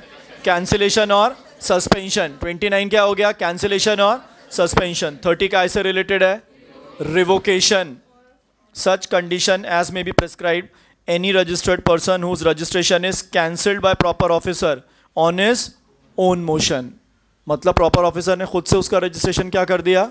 Cancel may apply to proper officer for revocation of cancellation कितने दिन के अंदर? 30 days from the date of service of cancellation order proper officer in such manner and with such period as may be prescribe by order either revoke cancellation of registration और reject लेकिन जब भी rejection देगा तो क्या करेगा? Opportunity of being heard देगा एस को, क्योंकि काय पे बेस्ड है प्रिंसिपल ऑफ़ द अगर रिवोकेशन हुआ कैंसिलेशन ऑफ़ रजिस्ट्रेशन का काय में S G S T U T G S T तो यहाँ पे भी क्या माना जाएगा? Deemed revocation of cancellation of registration under this act clear sections याद रखना। फॉर्म नंबर बहुत ज़्यादा एफर्ट्स मत लेना, याद हो जाते ठीक? रजिस्ट्रेशन के फॉर्म नंबर याद रखना ज़रूरी है। आर ई जी वन से लेके आर ई जी सिक्स बोलो रूल नंबर एट क्लियर है? नाइन हो गया। टेंथ भी अपना कंप्लीट है। टेन ए नया आया है। क्या है? Ten A? बैंक डिटेल अब देखो एलेवेंथ में भी एक छोटा सा चेंज किया है। रूल नंबर इलेवन क्या दिया हुआ है? Separate registration for multiple place of within a state or union territory ये नया रूल है। पहले रूल क्या था? वापस समझो, चार स्टेट में चार जगह है। एक की चार। था ना? कुछ चेंज उसमें? अब क्या हो गया है? एक स्टेट में क्या है? मल्टीपल प्लेस ऑफ़ बिज़नेस है। तो क्या एक रजिस्ट्रेशन ले सकते हैं? Yes yes. क्या मल्टीपल ले सकते हैं? मैंडेटरी प्रोविज़न के optional provision optional provision clear उसकी रिक्वायरमेंट देखो क्या है। Such person has more than one place of business as defined in section two subsection 85 such person not pay tax under composition levy for any place of his business if he is paying tax under और ये तो अपन composition में भी पढ़ चुके हैं कि एक बिज़नेस नॉर्मल में ले रहे हो, एक में कंपोजिशन अलाउ नहीं है। All separately registered places of business of such person shall pay tax under the act on supply of goods or service or both. Made to another registered place of business of such person and issued tax invoice or bill of supply as the case may be for such supply. मान लो मेरे पूना में तीन place of business और तीनों के अलग अलग रजिस्ट्रेशन लिए। अगर मैं एक जगह से दूसरी जगह माल भेजूँगा तो इन्वाइस इशू करना पड़ेगा। लाइक करना पड़ेगा क्यों? सेपरेट रजिस्ट्रेशन है। क्या है? सेपरेट रजिस्ट्रेशन और registered person obtaining opting to obtain separate registration for a place of business shall submit separate application in prescribe form in respect of such place of business provision of rule nine ten क्या लिखा है? देखो। Mutatis mutandis क्या मतलब हुआ? As it is बाकी कुछ भी चेंज नहीं होगा। अब यहाँ से क्वेश्चन क्या आ सकता है? क्या एक बंदे के एक स्टेट में एक से ज़्यादा रजिस्ट्रेशन हो सकते हैं? क्लियर अलग अलग स्टेट में तो हो ही सकते ये प्रोविज़न मैंडेटरी है कि ऑप्शनल पढ़ा था ना अपन ने एक्ट में? अब नेक्स्ट देखो क्या दिया है। ग्रांट ऑफ़ रजिस्ट्रेशन किस चीज़ के लिए?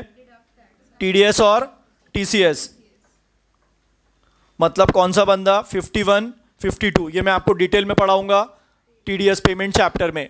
एग्जीक्यूटिव में बहुत कम है। टीडीएस टीसीएस वाले को भी रजिस्ट्रेशन के लिए अप्लाई करना है। कौन सा फॉर्म लगेगा? GST R E G seven TDS TCS में कौन सा फॉर्म लगेगा?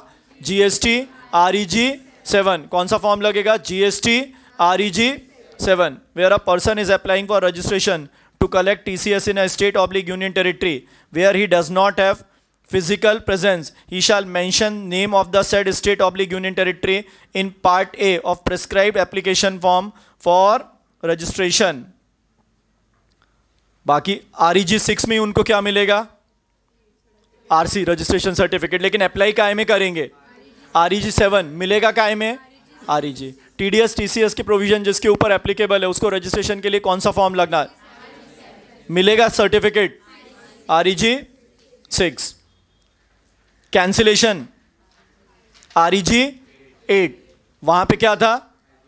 Five provided that registration sorry proper officer shall follow procedure as provided in rule 22 for cancellation of registration अब देखो, ये उतने रूल्स रेलिवेंट नहीं है। रूल्स मेन कौन से रहेंगे? Eight nine ten ten A multiple places के लिए अप्लाई कर सकते हैं।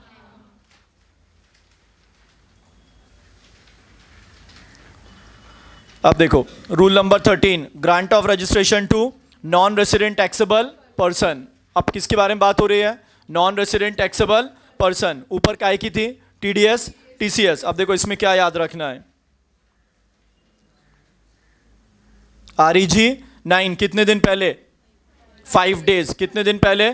फाइव डेज़ अगर वो किसी दूसरी कंट्री का है तो वहाँ का क्या लगेगा? टैक्स आइडेंटिफिकेशन नंबर बाकी देखो रूल नाइन टेन सब सेम मतलब रूल थर्टीन क्या बता रहा है? किसका प्रोसीजर दे रहा है? Rule thirteen non resident taxable person अब rule number fourteen grant of registration person supplying online information and database access or retrieval services from a place outside India to a non taxable online recipient GST R E G ten Certificate REG 6. GST REG 10. Certificate REG 6. अब जो main आपके काम का, जहाँ से question आ सकता है रूल नंबर 15 देखो क्या लिखा है. कैजुअल टैक्सेबल पर्सन और नॉन रेसिडेंट टैक्सेबल पर्सन को रजिस्ट्रेशन कितने दिन के लिए मिलता है? कब अप्लाई करना है? बाद में कि पहले? एटलीस्ट फाइव डेज़ कितने दिन के लिए मिलेगा? 90 days or period given in the certificate whichever is earlier क्या एक्सटेंशन हो सकता है? फर्दर 90 डेज़ अब देखो, अपन ने थ्योरी में पढ़ा था। क्या लिखा था? Suo motu registration what is suo motu registration on its own on its own on its own का मतलब डिपार्टमेंट ने खुद से रजिस्ट्रेशन अलॉट कर दिया। कब? अगर क्या चल रहा है? Survey enquiry inspection search or any other proceeding under the officer finds that person liable to registration under the act has failed to apply for such registration such officer may register said person on temporary basis and issue an order in form number GST R E G twelve मतलब मुझे registration लेना था, मैंने registration नहीं लिया। तो proper officer क्या मुझे रजिस्ट्रेशन अलॉट कर सकता है? कौन से फॉर्म में? R E G twelve permanent रहेगा कि temporary temporary the registration granted under sub rule one shall be effective from the date of such order granting registration every person to whom temporary re- registration has been granted shall within period of 90 days from the date of grant of such registration submit an application for registration in form and manner provided in rule 8 or 12 अभी तो department ने दिया है ना तो उसको क्या करना है कितने दिन के अंदर 90 डेज़ के अंदर रूल नंबर एट मतलब क्या भर के देना है GST R E G one part A part B normal process follow करना है। Provided that where are said person has filed an appeal against grant of temporary registration in such case application for registration shall be submitted within a period of thirty days from date of issuance of order upholding the liability to registration by appellate authority बाकी rule number nine ten क्या लिखा है? मुतातिस फर्नांडिस चलो अब rule number seventeen में देखो क्या दिया है। Assignment of unique identity number किस किस को मिलता है ये? यूनाइटेड नेशंस कौन से फॉर्म में? आर ई जी थर्टीन कौन से फॉर्म में? R E G thirteen registration certificate काय में आएगा? आर ई जी सिक्स अब एटीन देखो क्या है। एक ही वर्ड ध्यान देना डिस्प्ले आपको अपना रजिस्ट्रेशन नंबर रजिस्ट्रेशन सर्टिफिकेट या जीएसटीएन कहाँ पे शो करना है? नेम बोर्ड पे। कहाँ पे शो करना है? नेम बोर्ड मैंडेटरी के ऑप्शनल रूल नंबर 19 क्या दिया है? Amendment of registration where there is any change in any of the particular furnished in application form for registration in G S T R E G one R E G seven R E G nine R E G ten और unique identity number R E G thirteen either at the time of obtaining registration और unique identity number तो proper officer के पास आपको काय के लिए करना है? अप्लाई करना है। किस चीज़ के लिए अप्लाई करना है? अमेंडमेंट अमेंडमेंट काय काय में हो सकते हैं? Changes relate to legal name of business address addition deletion clear लेकिन अगर देखो which does not warrant cancellation of registration under 29 proper officer shall after due verification approve the amendment within a period of ध्यान देना, कितने दिन में? 15 working days अगर एक जगह चेंज होंगे तो उस रजिस्ट्रेशन नंबर पे जितने पैन अटैच होंगे, सब जगह क्या आ जाएँगे? चेंजेस क्यों ऐसा? क्योंकि जीएसटी का रजिस्ट्रेशन क्या है? पैन बेस्ड जीएसटी का रजिस्ट्रेशन क्या है? पैन बेस्ड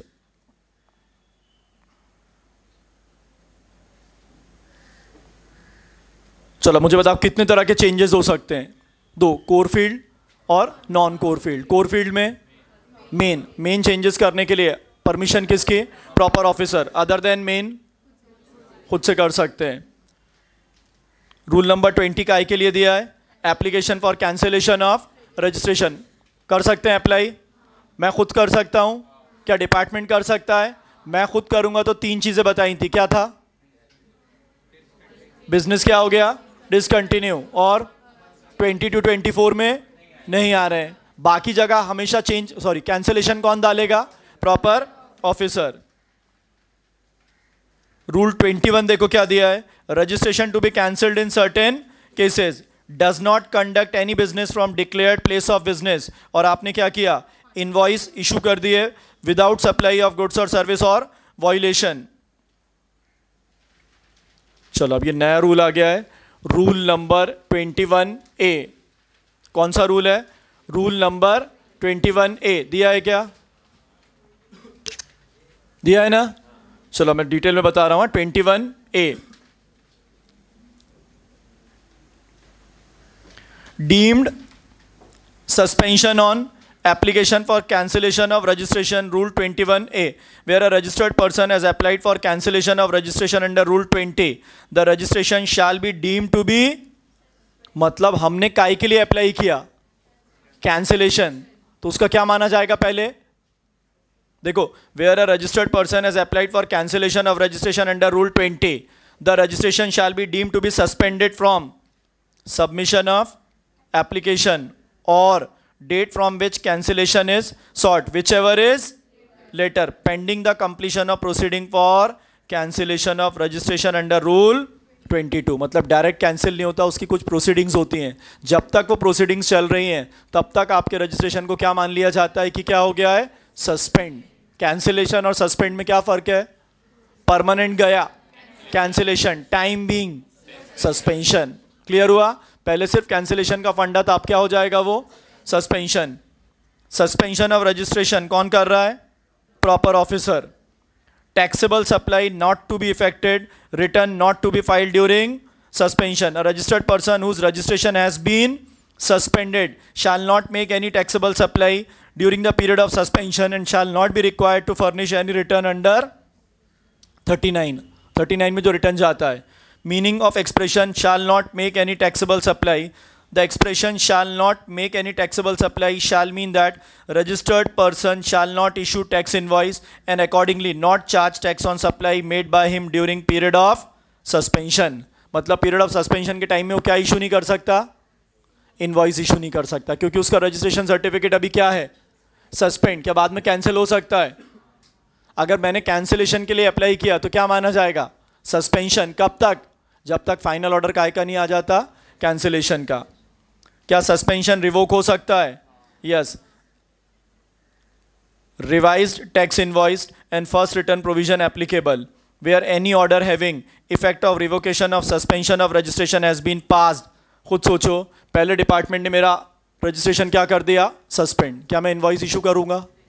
थोड़े दिन बाद वो ऑर्डर क्या हो गया? रिवोक ऑर्डर क्या हो गया? रिवोक अब मुझे कौन सा इन्वाइस इशू करना है? रिवाइज टैक्स इन्वाइस क्यों? क्योंकि पहले मैंने क्या इशू नहीं किया? इन्वाइस क्लियर क्या मैं कैंसिलेशन के लिए अप्लाई कर सकता हूँ? अगर मैं कैंसिलेशन के लिए अप्लाई करूँगा तो क्या होगा?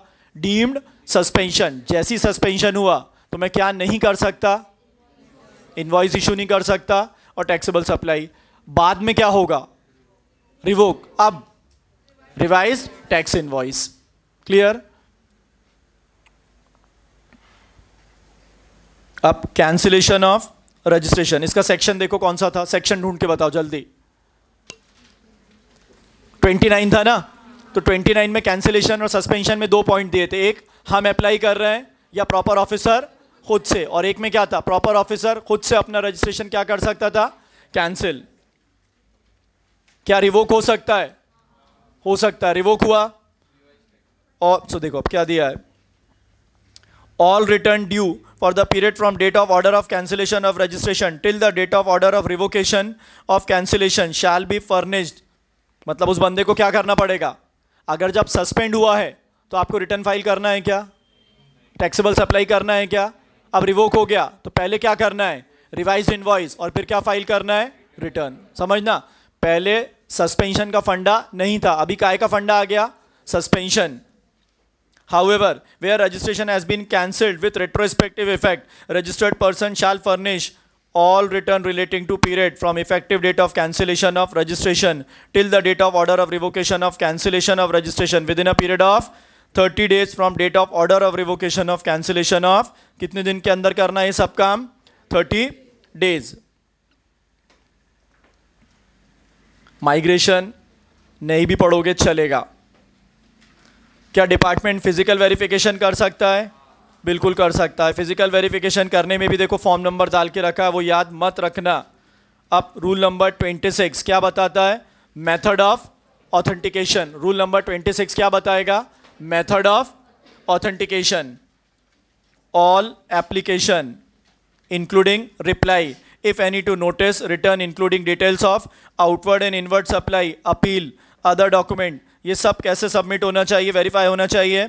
इलेक्ट्रॉनिकली विद डिजिटल सिग्नेचर या ई सिग्नेचर सारी चीज़ें return furnished online shall be signed और वेरीफाइड किसके थ्रू इलेक्ट्रॉनिक वेरिफिकेशन कोड, किस चीज़ के through? Electronic verification code individual के केस में। इंडिविजुअल हिमसेल्फ अगर वो एबसेंट है कहाँ से? इंडिया से। By some other person duly authorise by him in this behalf individual is mentally incapacitated guardian या person competent to contract H U F के केस में सारा सिग्नेटरी कौन रहेगा? करता। कंपनी के केस में चीफ एग्जीक्यूटिव ऑफिसर गवर्नमेंट और any governmental agency any officer authorise firm के केस में पार्टनर माइनर नहीं होना चाहिए। Any other association member trust के केस में trustee in case of any other person person competent to contract sorry contract to act all notice certificate order provision of this chapter shall be issued electronically सारे orders कैसे आएँगे? Electronically clear अब जो rule आपको घर पे अच्छे से पढ़ना है, चाहे एग्जीक्यूटिव हो या final eight nine ten ten A कौन कौन से? Eight, nine, ten ten A. Sixteen. इसके बाद कौन सा? Sixteen. Nineteen. Twenty one A. कौन सा? Twenty one A.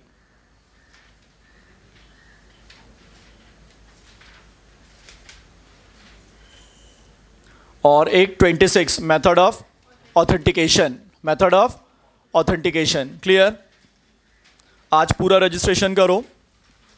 कल मैं क्लास स्टार्ट करूँगा हाफ़ एन आवर मतलब टेन दस बजे चालू करूँगा तो शुरू के आधे घंटे में। मैं आपको रजिस्ट्रेशन के सारे नए प्रैक्टिकल्स हैं। जिनके पास पहले नहीं तो मैं आपको कल शीट दूँगा तो सारे क्वेश्चंस करा दूँगा। काय के?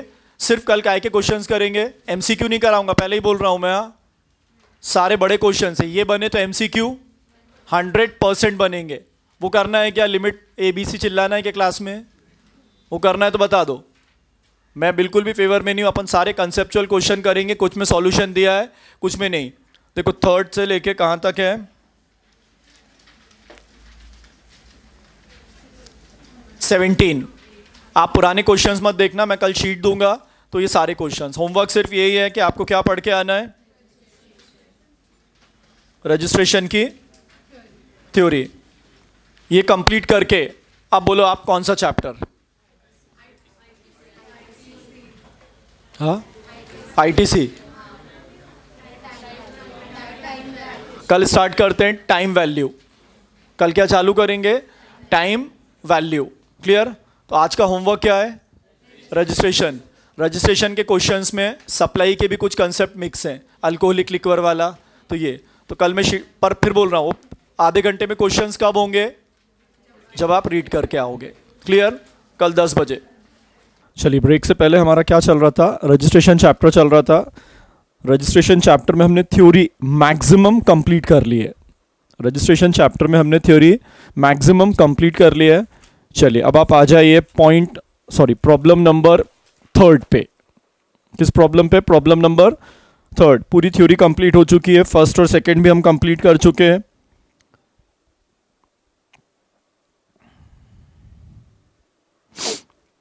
सारे क्वेश्चंस अपन ये वाले भी कंप्लीट करेंगे और कोई दूसरी सी एम इंस्टीट्यूट के मॉड्यूल के क्वेश्चंस हैं, वो भी अपन कवर अप करेंगे। सी एस प्रोफेशनल के भी क्वेश्चंस कवर करेंगे। अगर क्वेश्चन शीट में नहीं दिया हुआ तो जस्ट फोकस करना। मैं जो बोर्ड पे बताऊँगा। चलिए problem number third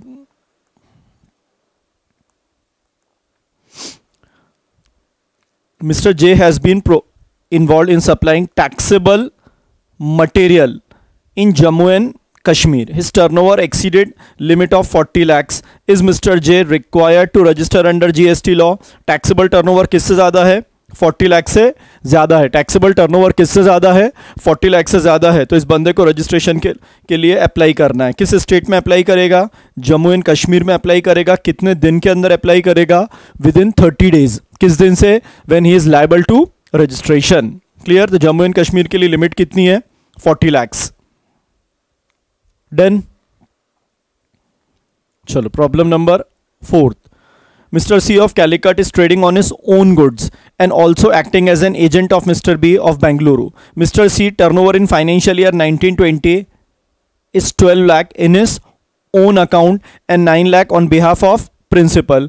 Whether Mr. C is liable to register compulsorily under GST law आपको मैं वापस बता रहा हूँ रजिस्ट्रेशन चैप्टर के लिए आपको सबसे अच्छे से जो डेफिनेशन आना चाहिए दैट इज़ एग्रीगेट टर्नओवर किस डेफिनेशन को अच्छे से मालूम होना चाहिए aggregate turnover as per explanation 1 in computing total turnover both the value of supply on his own account that is 12 lakh on behalf of principal 9 lakh will be aggregated. Hence, aggregate turnover will be 21 lakh. Mr c is liable to register compulsorily under gst law.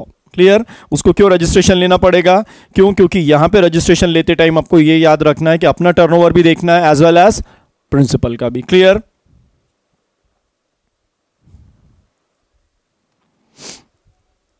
चलो problem number fifth Mr. Rajan of Tamil Nadu is a farmer with an annual turnover in relation to agriculture 78 lakhs. Since income is agriculture related, turnover is exempt from GST.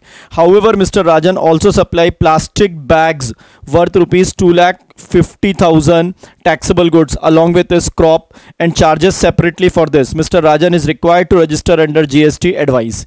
Mr. Rajan is required to GST because his aggregate turnover exceeds threshold limit of rupees forty lakh अगर सिर्फ़ agriculture में deal करता तब उसको registration लेने की requirement नहीं है क्लियर चलो वापस प्रॉब्लम नंबर थर्ड फोर्थ और फिफ्थ एक बार आप देखिए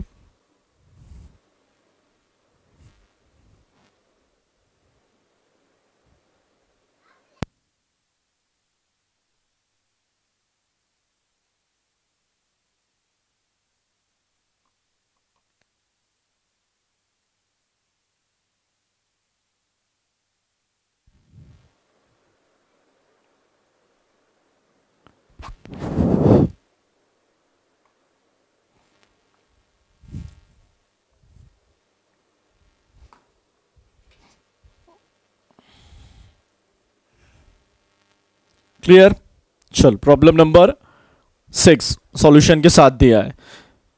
Mister X a dealer dealing within intra state supply of goods and services and has place of business in India furnish following information for in the financial year 1920 sale of taxable goods head office located in Chennai कितना? One lakh supply of taxable services by branch office at Bangalore कितने में? 50,000 supply of goods exempted from GST 10,000 export of goods and service. 2 lakh. Sale of goods acting as an agent on behalf of principal for rupees 15 lakh अब question में क्या बोला है कि अपने को क्या निकालना है? एग्रीगेट टर्नओवर क्वेश्चन में क्या बोला है? अपने को क्या निकालना है? एग्रीगेट टर्नओवर आप एग्रीगेट टर्नओवर की डेफिनेशन का रेलेवेंस देखो कितना ज़रूरी है और हर चैप्टर में इसका इंपॉर्टेंस है।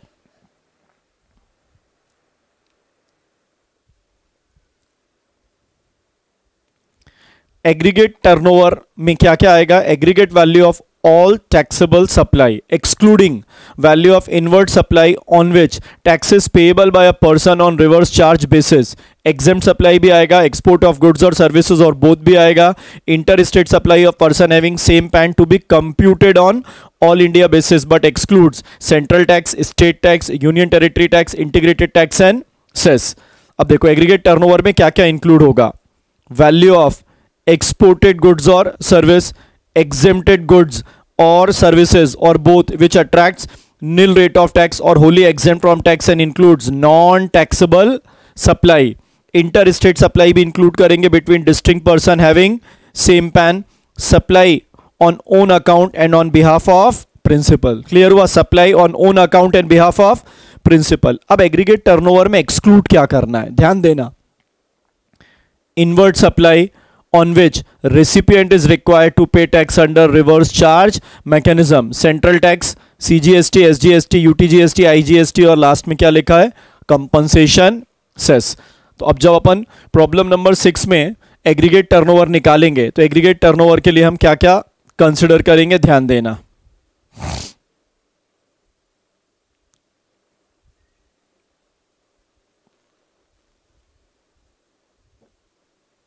चलो सिक्स आप कंप्लीट करो।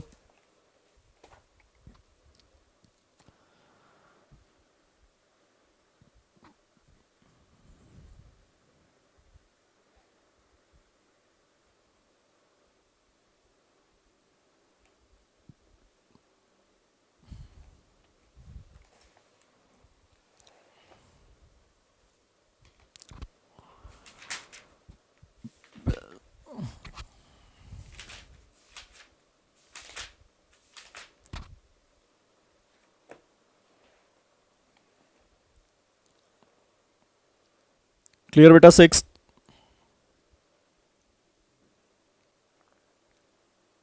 चलो सेवंथ इसमें मेरी रिक्वायरमेंट नहीं है सेवन्थ में भी नहीं है, और एट सेवन्थ भी आप कंप्लीट करो एट भी आप कंप्लीट करो. अगर खाली गुड्स है तो दिल्ली के लिए लिमिट कितनी रहेगी? Forty lakhs goods plus service तो ट्वेंटी लैख क्लियर अपन पढ़ा था ना?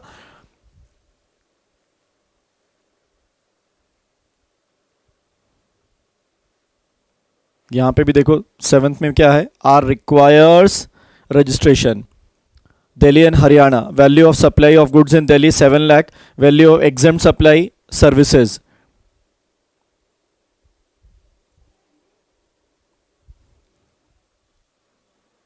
चलो नाइन स्टार मार्क करो. अच्छा क्वेश्चन है. Mister A of Maharashtra has effected following supplies within the state of Punjab, you are required to determine whether he is required to obtain registration under GST law.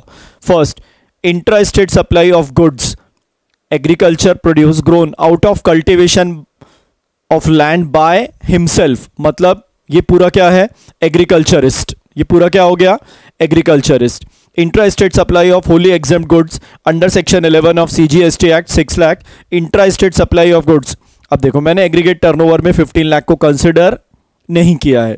Clear चलो, अब नीचे working note लिखो।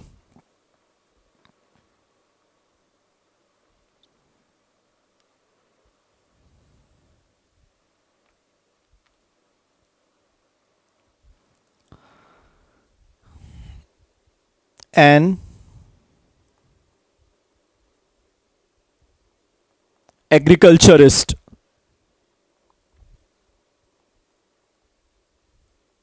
Is not liable to an agriculturist is not liable to obtain registration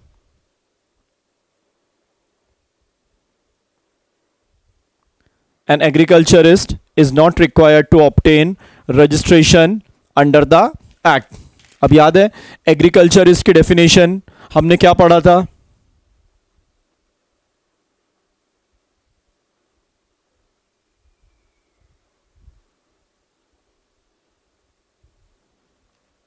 clear अब अगर अपन देखेंगे तो अपन अगर इसको इंक्लूड करते हैं तो फिर आपको ये देखना पड़ेगा कि अदर सप्लाई में भी कर रहा है। मैंने यहाँ पे इंक्लूड नहीं किया और मैं मतलब देखो ये इंटरप्रिटेशन का है। एक तरह से एग्रीकल्चरिस्ट अगर खाली एग्रीकल्चरिस्ट रहता तो इसको मैं कंसिडर नहीं करता। लेकिन अगर मैं इसको कंसिडर करता हूँ, तब उसको रजिस्ट्रेशन लेना पड़ेगा। तो आपको दोनों व्यू क्लियर होना चाहिए। वापस समझना, इसमें मुझे दोनों व्यूज़ क्या होना चाहिए? Clear agriculturist is not liable to obtain registration under the act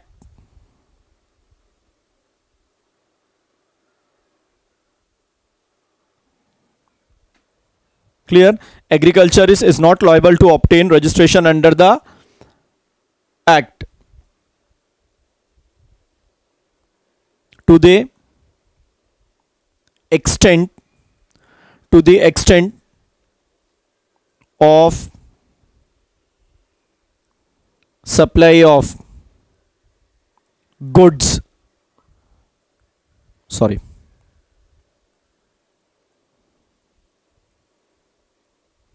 supply of produce.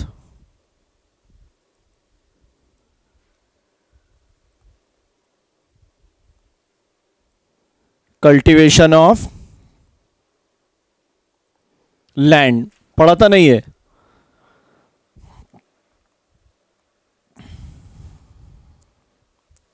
Clear है यहाँ तक?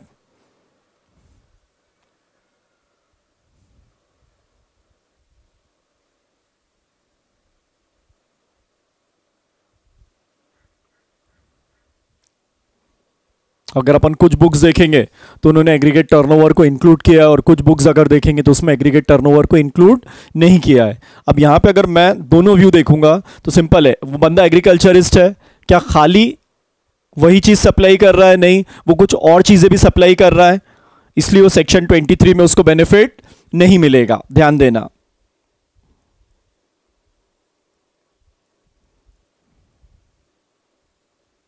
Mister A is engaged in Mr. A is engaged in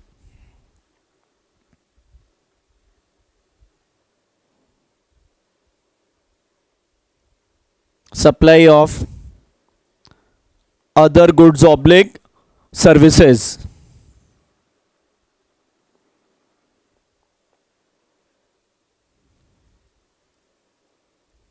he is not covered under section 23 क्योंकि aggregate turnover की definition में तो सब चीज़ को लेंगे तो इसलिए यहाँ पे नील कट करके मैं क्या ले लूँगा? कितने का सप्लाई था? 15 लाख हेंस एग्रीगेट टर्नओवर ध्यान देना exceed 20 lakh. Aggregate turnover exceed 20 lakh. Hence mr a is, ध्यान देना, दोनों बता रहा हूँ required to obtain registration under GST law clear agriculture अगर खाली एग्रीकल्चरिस्ट रहता, तब रजिस्ट्रेशन की रिक्वायरमेंट नहीं है, लेकिन ये दूसरे गुड्स और सर्विस भी सप्लाई कर रहा है, इसलिए इसको काय में नहीं जा पाएगा ये section twenty three clear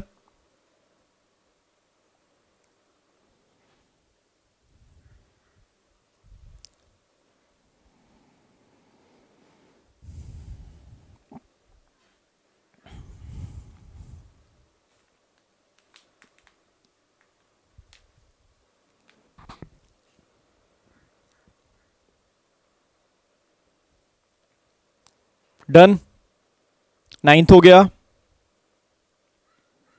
चलो प्रॉब्लम नंबर टेंथ पे आ जाओ. जो नोट्स में स्पेस है, वो इसी चीज़ के लिए दिया था.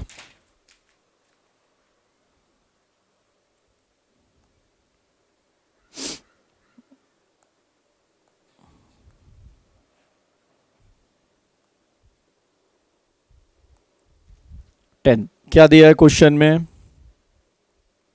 From the following information, you are required to determine whether ABC Limited, incorporated in MP, is liable to be registered under GST law if company has effected following supply within the state of MP.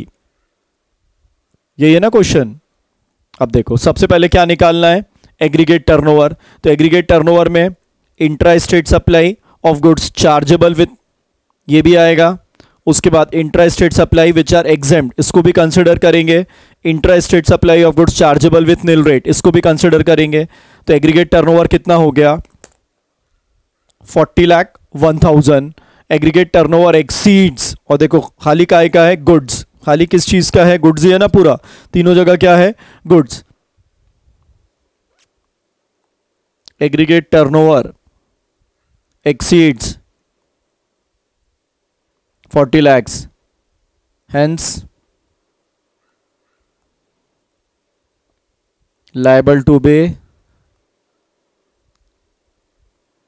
registered aggregate turnover में क्या नहीं आएगा, सिर्फ़ आप ये याद रखो। सारी चीज़ें एग्रीगेट टर्नओवर में इंक्लूड है। सारी चीज़ें एग्रीगेट टर्नओवर में इंक्लूड है। कुछ चीज़ें एग्रीगेट टर्नओवर में इंक्लूड नहीं है। RCM CGST SGST IGST UTGST और जीएसटी कंपनसेशन सेस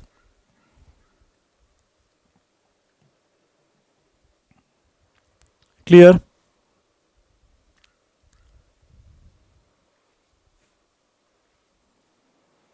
चलो टेंथ के बाद प्रॉब्लम नंबर एलेवेंथ पहले एक बार आप रीड करिए, फिर मैं आपको एक्सप्लेन कर रहा हूँ।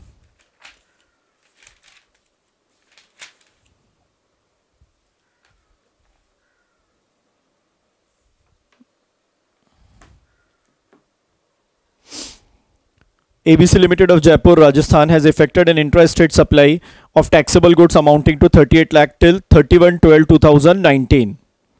On 1 1 2020, it has effected interstate supply of taxable goods amounting to rupees 1 lakh. ABC Limited is of the opinion that it is not required to get registered under GST law since aggregate turnover is not likely to exceed 40 lakh during financial year 1920. As a consultant of company, you are required to advise company relating to registration requirement. कौन सा section applicable हो जाएगा 22 liable 23 not liable और यहाँ पे कौन सा section लगेगा 24 क्यों क्योंकि बंदा कौन सा सप्लाई कर रहा है इंटरस्टेट सप्लाई। कैसे पता चला? उसने ये जो इंटर स्टेट सप्लाई किया, इसकी वजह से उसको क्या लेना पड़ेगा? रजिस्ट्रेशन। भलाई, उसका एग्रीगेट टर्नओवर किसको एक्सीड नहीं कर रहा है? 40 लाख। तो यहाँ पे कौन सा सेक्शन लग जाएगा? 24 कब उसने अप्लाई किया? Sorry one one two thousand twenty तो यहाँ से लेके कितने दिन के अंदर? थर्टी डेज़ के अंदर उसको रजिस्ट्रेशन के लिए अप्लाई करना है। कितने दिन के अंदर अप्लाई करना है? Thirty days. तो डेट क्या रहेगी? Thirty one one two thousand twenty कब तक अप्लाई करना है? Thirty one one two thousand twenty हमने पढ़ा था ना कितने दिन के अंदर अप्लाई करना है? विद इन थर्टी डेज़ कब से थर्टी डेज़ काउंट करना है ना पर्सन देखो थर्टी एट लाख पे तो लिमिट एप्लीकेबल ही नहीं है।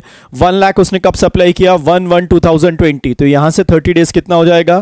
Thirty one one two thousand twenty उसको रजिस्ट्रेशन के लिए अप्लाई करना है। कौन से सेक्शन में? ट्वेंटी टू लगेगा कि ट्वेंटी फोर ट्वेंटी फोर लगेगा क्यों? क्योंकि ट्वेंटी फोर क्या है? Compulsory registration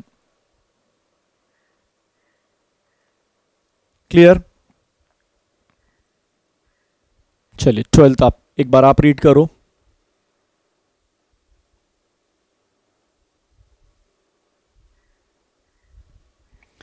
ABC Limited Pune provides housekeeping services. The company supplied services exclusively through किसके through e-commerce website owned and managed by Hightech India Private Limited Pune. The turnover of ABC Limited in current financial year is 18 lakh. Advise ABC Private Limited as to whether they are required to obtain GST registration. Will your advice be different if ABC Private Limited sells ready-made garment exclusively through e-commerce website owned and managed by hitech India private limited चलो पहले एक बार आप पुराने provisions देखो 22 और 24 उसके बाद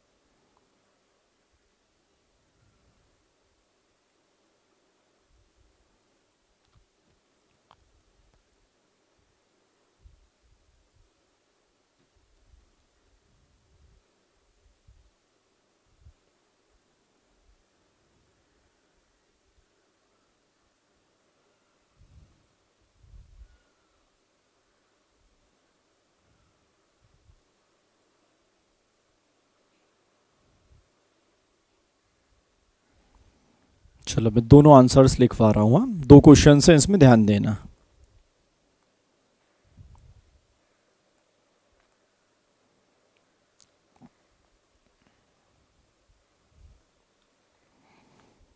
चलो।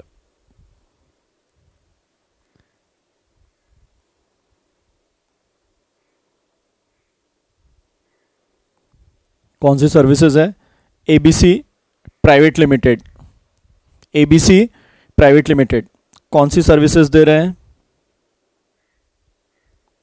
ध्यान देना, कौन सी सर्विसेज़ है? हाउसकीपिंग सर्विसेज़ किसके थ्रू ईसीओ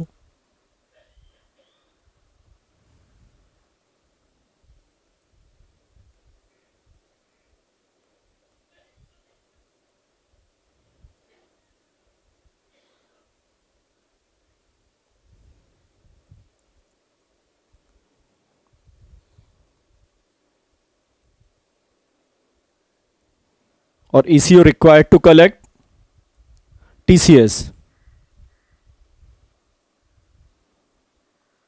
clear यहाँ तक आप ध्यान देना जो मुझे आपको बताना है।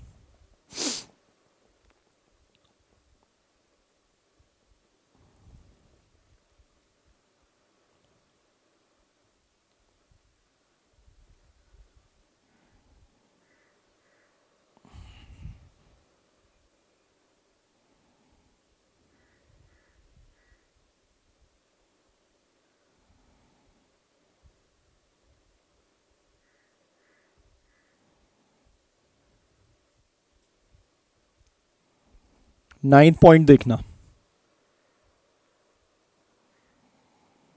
पर्सन हू सप्लाई गुड्स और सर्विस और both other than supply specified under section five of section nine through electronic commerce operator who is required to collect tax at source under section fifty two person are supplier of services and supplying services through electronic commerce operator are not required to register under G S T if aggregate turnover is less than twenty lakhs पर N M और ten lakhs कहाँ पर है? Special category state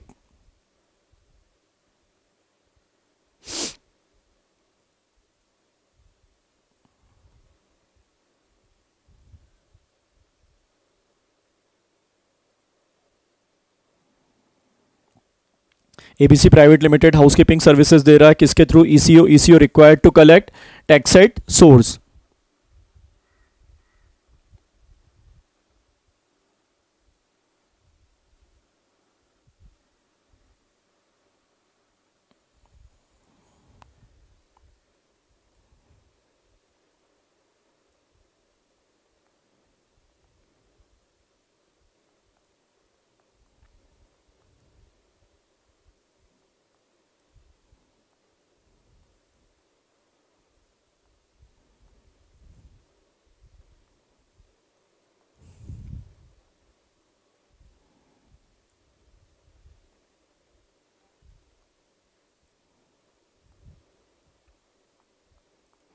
eighty less than twenty lakhs aggregate turnover किससे कम है? Twenty lakhs से कम है।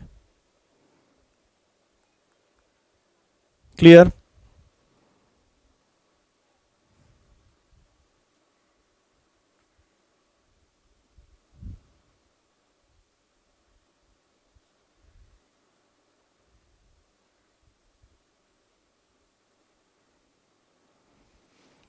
क्लियर हुआ? चले नोट डाउन करो।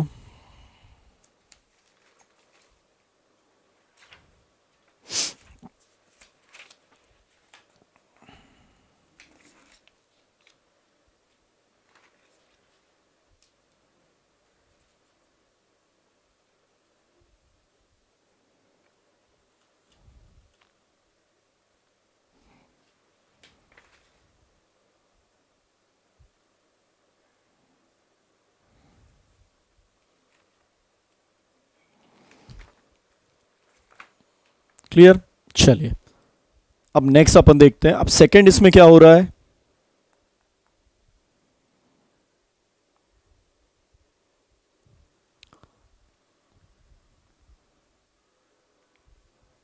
अब यहाँ पे क्या है?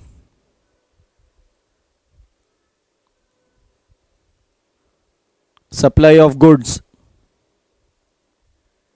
through ECO, ऊपर का केस क्या था? सर्विसेज़।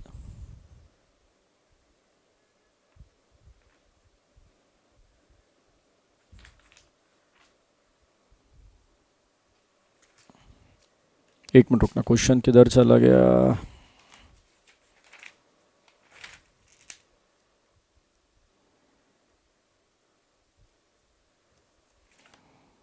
अब काय की बात हो रही है? Supply of goods through ECO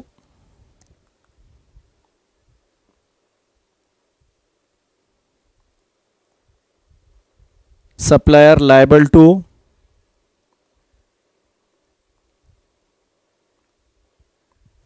take registration मतलब सर्विसेज़ के केस में आप कितने का एग्जामेशन क्लेम कर सकते हैं? ट्वेंटी लैक्स लेकिन गुड्स के केस में कुछ भी ऐसा नहीं लिखा है। यहाँ पे सप्लायर को रजिस्ट्रेशन लेना कंपलसरी रहेगा। क्लियर ध्यान देना। हाउस कीपिंग सर्विसेज़ में उसको क्या क्यों मिल गया था? ध्यान देना, पहले इसको नोट करो, फिर बता रहा हूँ कहाँ दिया हुआ है।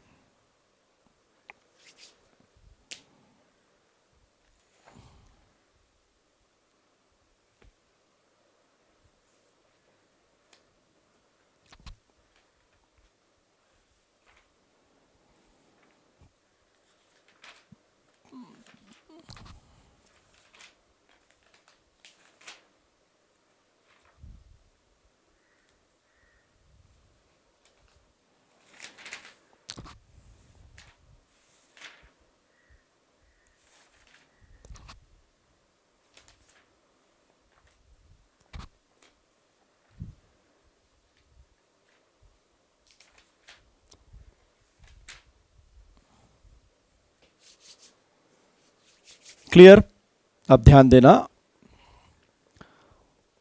पूरा फोकस अपने को काय पे रखना बेटा थ्योरी पे। अगर थ्योरी क्लियर है, तभी सारे प्रैक्टिकल्स के कंसेप्ट क्लियर होंगे।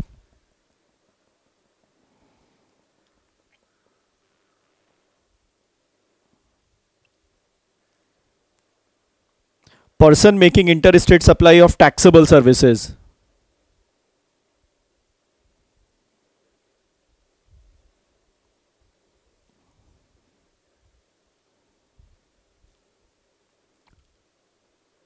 person who supply goods or services or both other than supply is specified under subsection 5 through such electronic operator who is required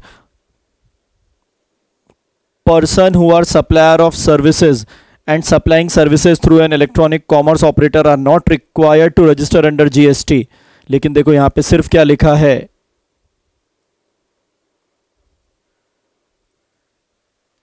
clear चलिए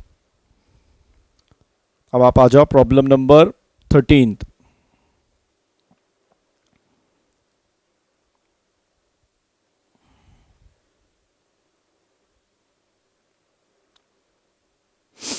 एक बार आप रीड करो. M enterprise sole proprietorship form open a shopping complex dealing in supply of goods at multiple location that is Himachal Pradesh Uttarakhand Tripura in the month of June clear? It has furnished following details relating to sale made at multiple location for the month of June. Himachal Pradesh दिया है उत्तराखंड का दिया हुआ है, त्रिपुरा का दिया inter intra state supply of taxable goods 22 lakh fifty thousand Uttarakhand में कुछ भी नहीं है, Tripura seven lakhs intra state sale of exempted goods छः lakh. Interest receipt from bank on fix deposit sixty thousand inter intra state sale of non taxable goods twenty one lakh और four with help of above mentioned information answer the following question giving reason अब सबसे पहले तो क्या निकालना है अपने को? चलो problem number thirteen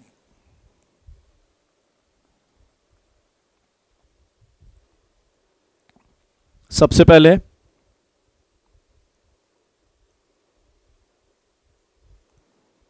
computation of state wise aggregate turnover किसका? एम एंटरप्राइजेस का। तो पहला कॉलम मेरा प्रेजेंटेशन के हिसाब से पर्टिकुलर हिमाचल प्रदेश, उसके बाद क्या है? उत्तराखंड और इसके बाद क्या है? त्रिपुरा। क्लियर तीन स्टेट से आप देखो, सबसे पहला इसमें क्या दिया है? First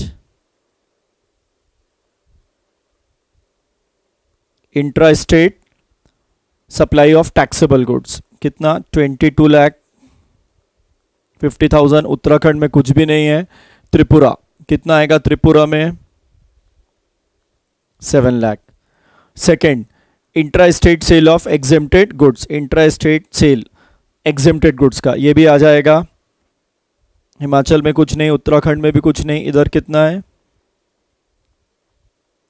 Six lakh third interest receive from bank on fix deposit ये भी आएगा।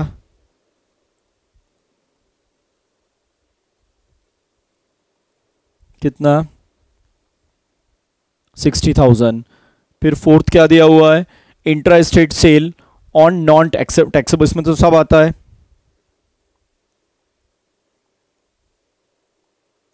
टैक्सेबल कितना? ट्वेंटी वन लाख और इधर कितना है? फोर्टी थाउज़ेंड तो ये मेरा क्या निकल जाएगा? एग्रीगेट टर्नओवर ये मेरा क्या निकल जाएगा? Aggregate turnover twenty two lakh fifty thousand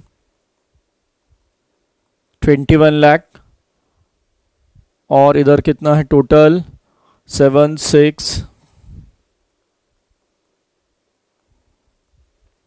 fourteen lakh तो ये अपना क्या आ गया? एग्रीगेट टर्नओवर ये हमारा क्या आ गया? एग्रीगेट टर्नओवर क्लियर अब देखो, सबसे पहला क्वेश्चन क्या दिया है? Determine whether M enterprise is liable to be registered under GST law and what is threshold limit for taking registration in this case अब मैं एक एक पॉइंट का आंसर बता रहा हूँ आपको.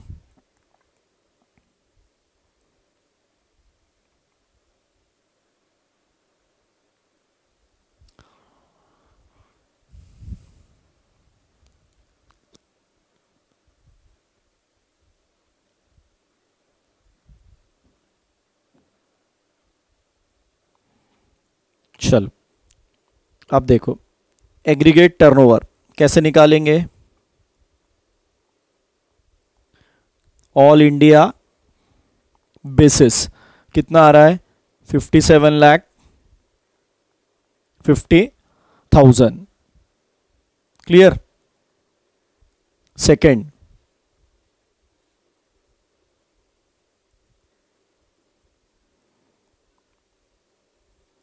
threshold limit कितना? टेन लैख। क्यों? क्योंकि वो एक जगह कौन सा है? त्रिपुरा। त्रिपुरा के लिए लिमिट कितनी है? टेन लैक्स क्लियर मतलब एम एम एंटरप्राइजेस को रजिस्ट्रेशन लेना मैंडेटरी है कि ऑप्शनल है? एम एंटरप्राइजेस को रजिस्ट्रेशन लेना क्या हो जाएगा? मैंडेटरी क्यों मैंडेटरी हो जाएगा? क्यों? क्योंकि उसका एग्रीगेट टर्नओवर पहली चीज़ तो दस लाख देखेंगे कि क्या देखेंगे, उसका एग्रीगेट टर्नओवर हम कितना कंसिडर करेंगे? टेन लाख क्यों? क्योंकि वो स्पेशल कैटेगरी स्टेट से भी क्या कर रहा है? सप्लाई कर रहा है। क्लियर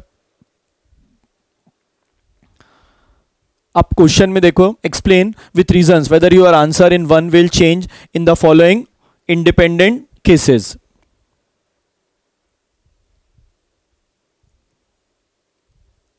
clear ये भी मेरा डन चलो।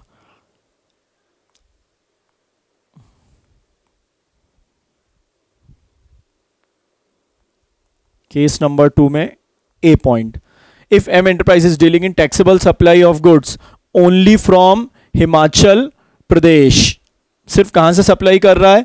Only from Himachal Pradesh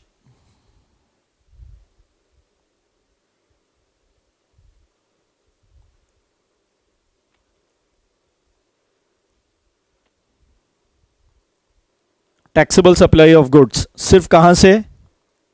Himachal Pradesh कितना है? Twenty two lakh fifty thousand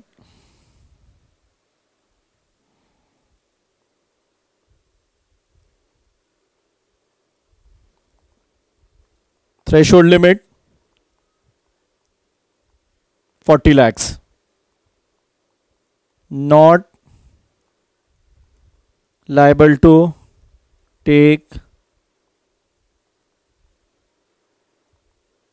registration. Not liable to take registration clear हुआ?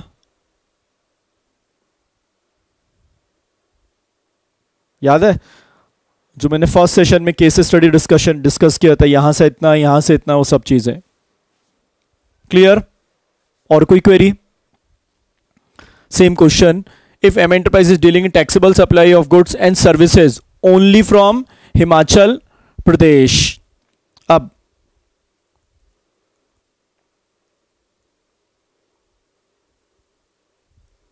taxable supply of goods oblique services कहाँ से? हिमाचल प्रदेश, कितना? Twenty two lakh fifty thousand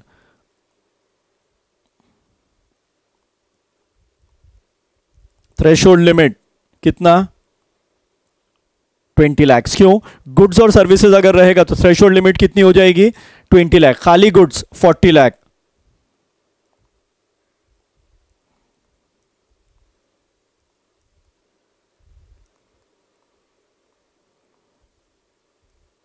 liable to take registration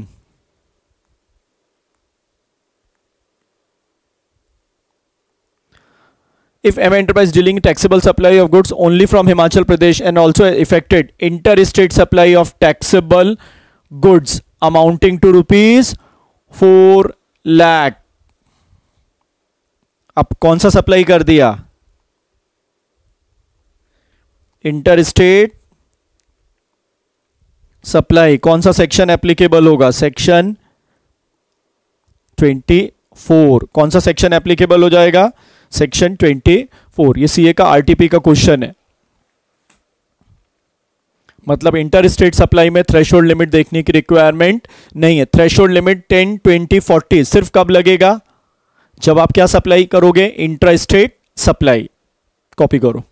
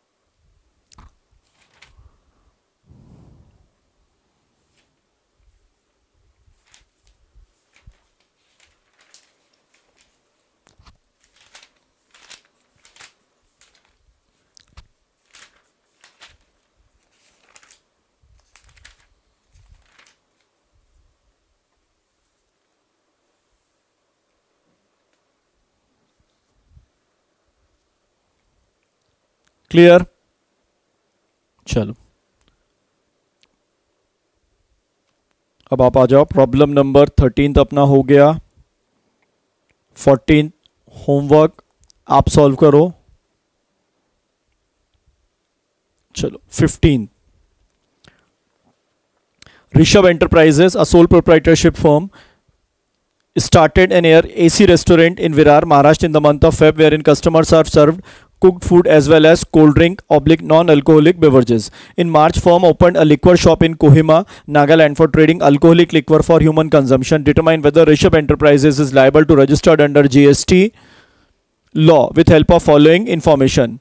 Serving of cooked food and cold drink, alcoholic, sorry, non-alcoholic 515 Maharashtra, sale of alcoholic liquor for human consumption in Nagaland. Supply of wholly exempt services one lakh export of package food construct चलो, detail दिया हुआ है।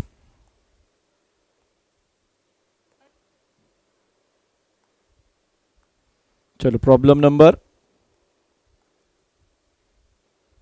Fourteen है ना? Sorry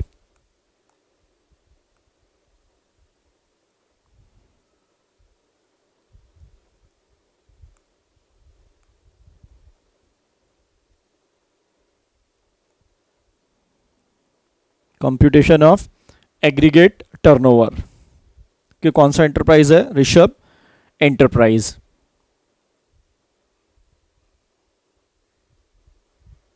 पहले मैं कब कब टर्नओवर निकालूँगा फेब उसके बाद कब का निकालूँगा?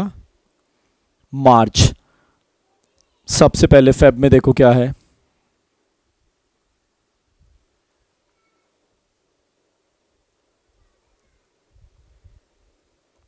कुक्ड फ़ूड कितना दिया हुआ है?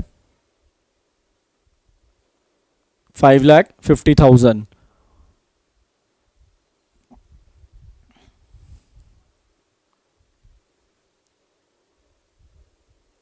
add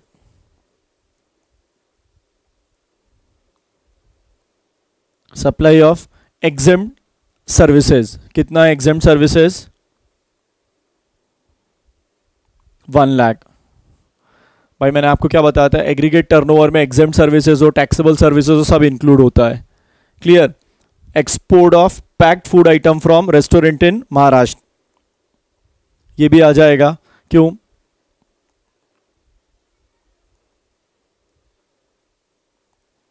कितना? One lakh fifty thousand. अब फेप का एग्रीगेट टर्नओवर कितना है? एट लाख क्लियर हुआ? रजिस्ट्रेशन लेना है क्या फेब में? फेब में रजिस्ट्रेशन लेने की रिक्वायरमेंट नहीं है। Did not exceed twenty lakh अब मार्च में देखो क्या हुआ? भाई रजिस्ट्रेशन तो अब मार्च अब मार्च में सबसे पहला आपका कितना है?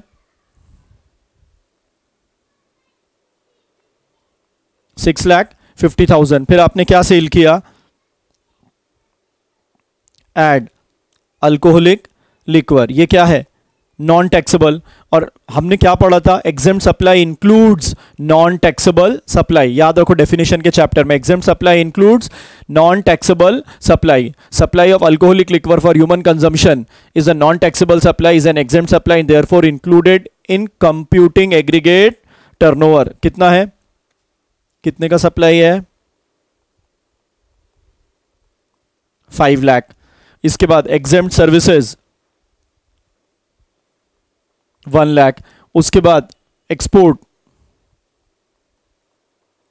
two lakh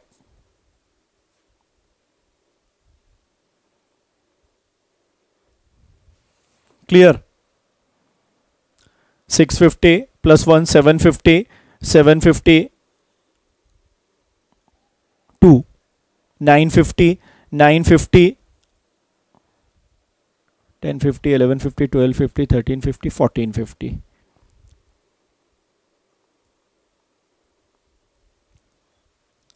Clear अब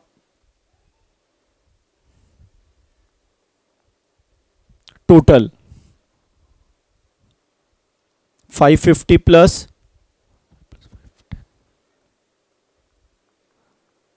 twelve.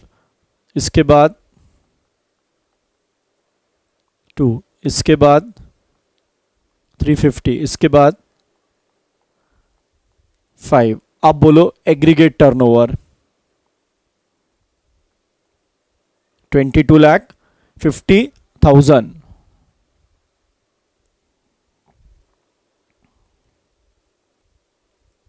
Feb. Not required to take registration march aggregate turnover exceeds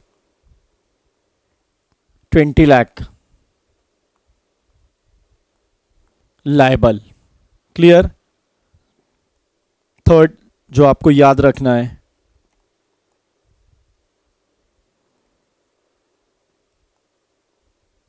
exempt supply include non taxable supply करिए कॉपी क्लियर हो गया?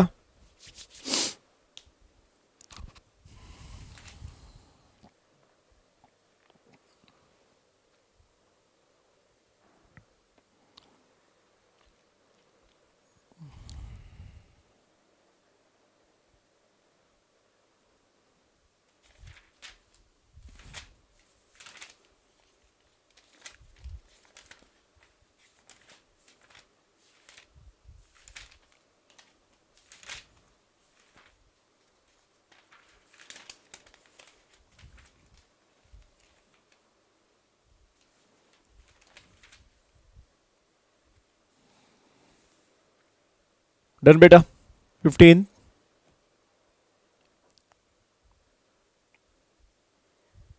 चलो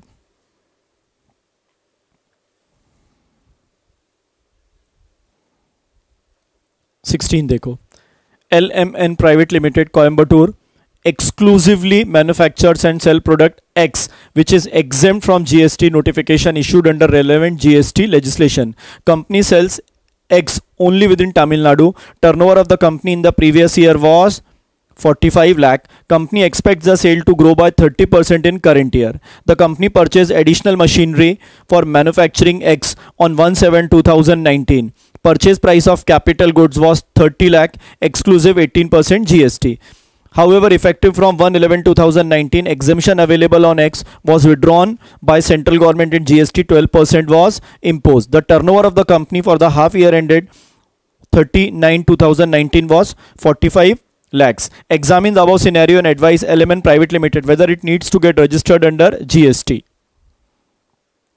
If answer to the above question is affirmative, advise whether LMN Private Limited whether it can avail input tax credit on additional machinery purchased exclusively for manufacturing X. इसमें ITC भी है हल्का सा चलिए solution पे आ जाइए क्या है सॉल्यूशन नंबर 16 तो सबसे पहले मैं बात काय की करूँगा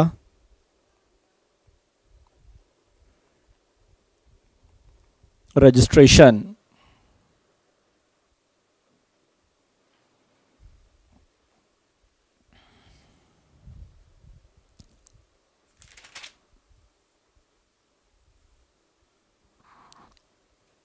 चलो ध्यान देना कैसे लिख रहा हूँ specifically C S professional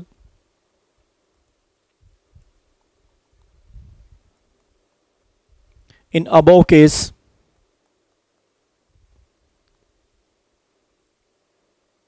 turnover of company कब? Thirty nine two thousand nineteen कितना है?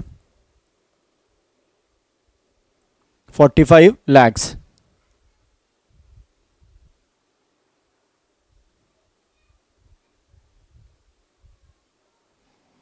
forty five lakh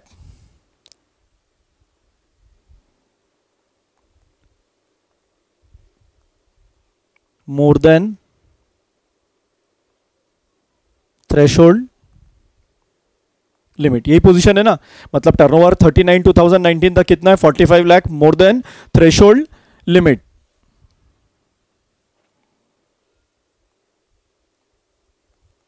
liable to get registered.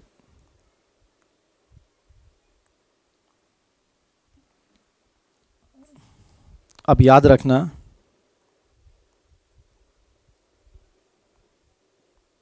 However, LMN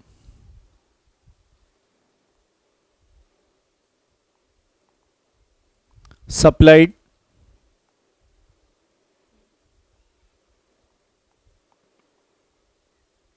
exempted goods till 39 2019 it was not required to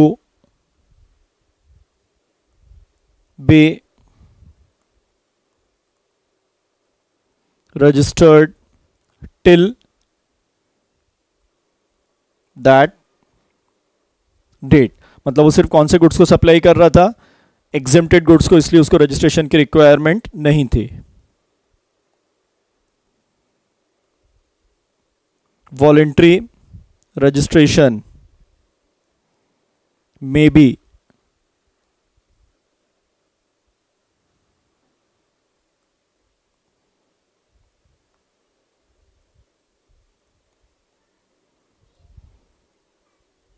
Was allowed वो चाहे तो क्या ले सकता था? वॉलेंट्री रजिस्ट्रेशन क्लियर हो गया?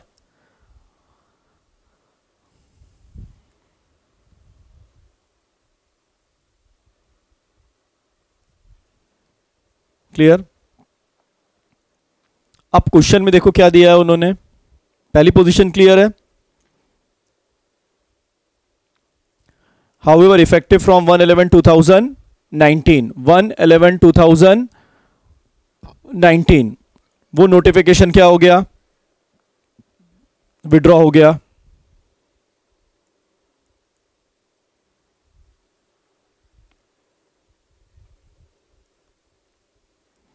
Company needs to register within 30 days.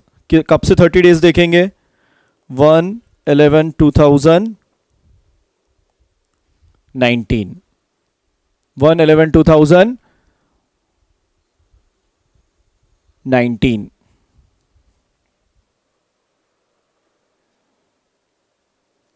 पहले वो कौन से गुड्स अप्लाई कर रहा था? एग्जेप्टेड एक्सक्लूसिव कौन से? एग्जेप्टेड तो उसको रजिस्ट्रेशन लेने की रिक्वायरमेंट नहीं थी। आज वो गुड्स क्या हो गए? टैक्सेबल किस दिन नोटिफिकेशन आया? वन इलेवन टू थाउज़ेंड तो इससे थर्टी डेज़ के अंदर कंपनी को क्या लेना है? रजिस्ट्रेशन क्लियर अब इसी क्वेश्चन में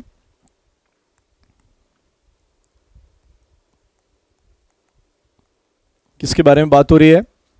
आईटीसी तो हम ये कहाँ पे डिस्कस करेंगे? इनपुट टैक्स क्रेडिट के चैप्टर में। अभी फालतू बता नहीं रहा हूँ, इसलिए फालतू कन्फ्यूज़न होगा तो बेटर है कि सिर्फ़ इतना ही आप। वहाँ पे अपन एक सेक्शन पढ़ा था 18 सब सेक्शन वन क्लॉज है स्पेशल कैटेगरीज आईटीसी का तो उसको रेफर करेंगे। नोट डाउन करो।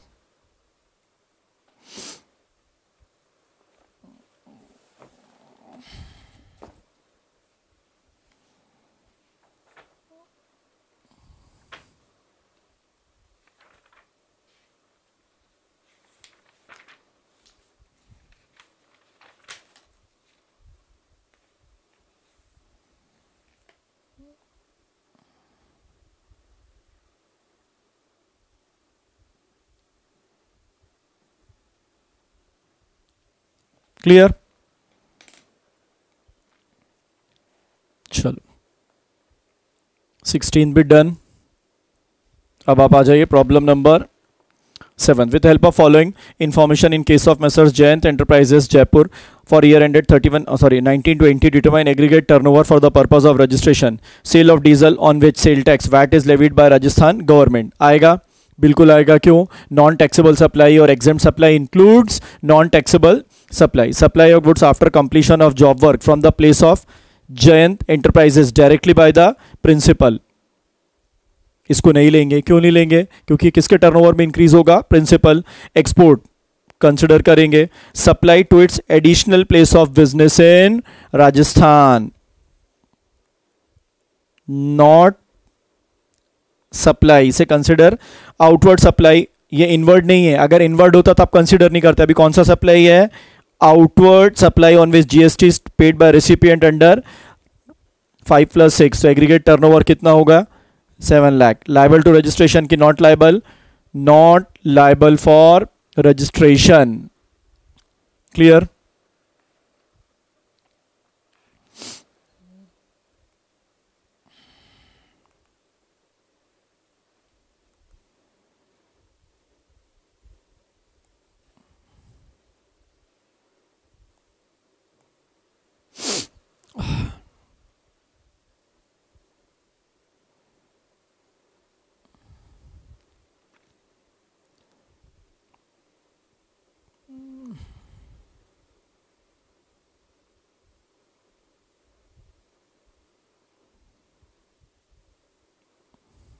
ITC वाला पॉइंट अपन आईटीसी के चैप्टर में जब रिवाइज करेंगे तब देखेंगे।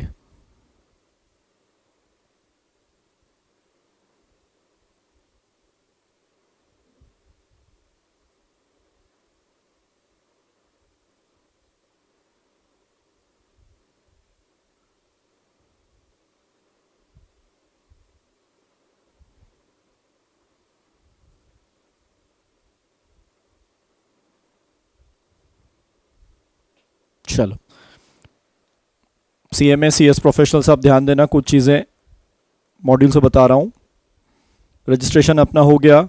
एडवांटेजेस भी हमको देख चुके हैं।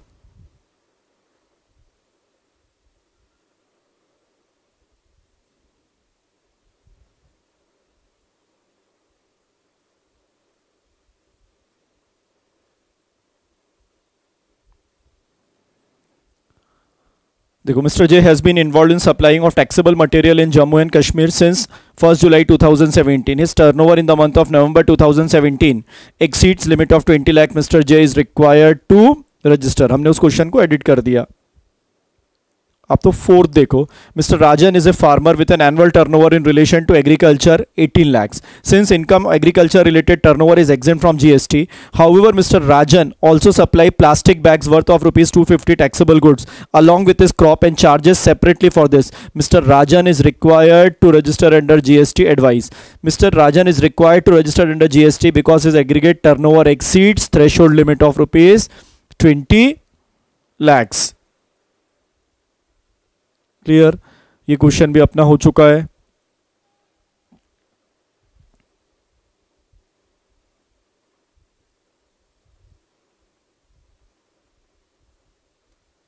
चलिए example number six Manish an unregistered person under GST as a place of profession in Bhubaneswar कहाँ पर है? Bhuvneshwar, Odisha supply taxable services to Infosys Limited, a registered person under GST in Bangalore. Answer the following. Is it interstate supply or intrastate supply? Who is liable to pay GST? Note Mr. CMA Manish turnover in previous year is 18 lakh. Dhyan dena. Any person making interstate supply has to compulsorily obtain registration and therefore in such case section 5 subsection 4 of IGST will come into play. However, service provided service provider providing aggregate supply, including interstate services, up to 10 20 lakh will be exempted from GST याद है notification services अगर आप inter state supply कर रहे हो तो 20 लैक्स तक क्या है? एग्ज़ाम लेकिन गुड्स के केस में ये एग्जेमशन नहीं है। कौन सा सप्लाई है ये? Inter state supply mister C is not liable to pay I G S T since registration is not mandatory to him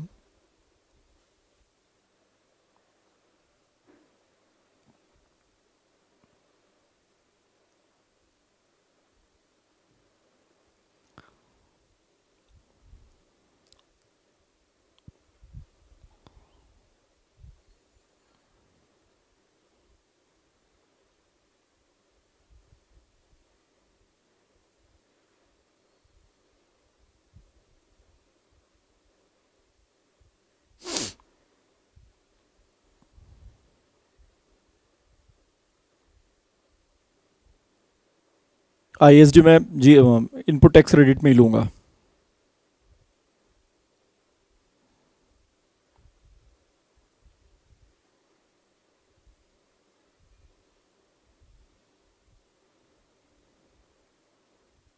clear CMA का मॉड्यूल हमने लगभग कवर करके रखा है।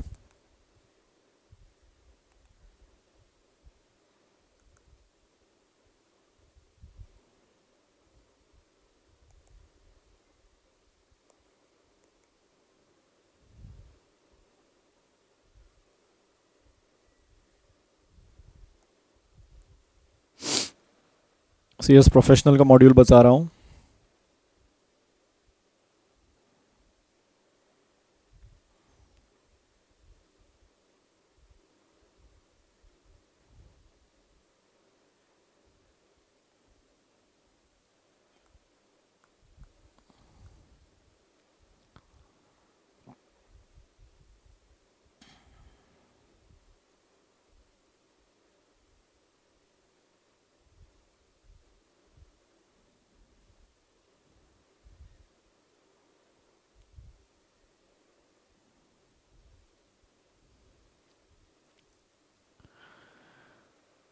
चलो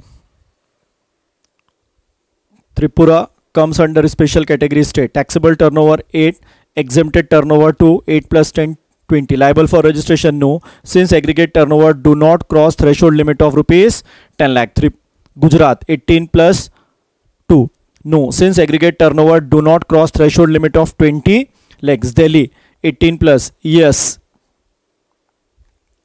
Rajasthan liable for registration क्योंकि पहले पंजाब ही is additionally having GST registration in Haryana सब डिस्कस कर चुके हैं।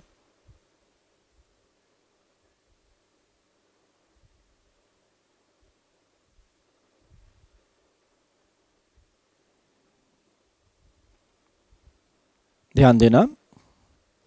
A farmer produces goods through cultivation from his own land and supplies same to the trader. The goods so supplied during the whole the year aggregate 21 lakh. He is not liable to get registration in terms of section 23 subsection 1 clause B क्योंकि उसको क्या माना गया है agriculturist इस इसी case में farmer A in addition to the supply of cultivated goods worth rupees twenty one lakh also supply goods cultivated by his friend B worth rupees five lakh which is trading business to other traders then in such aggregate turnover exceeds threshold limit sorry. 20 lakh hence he will be liable for registration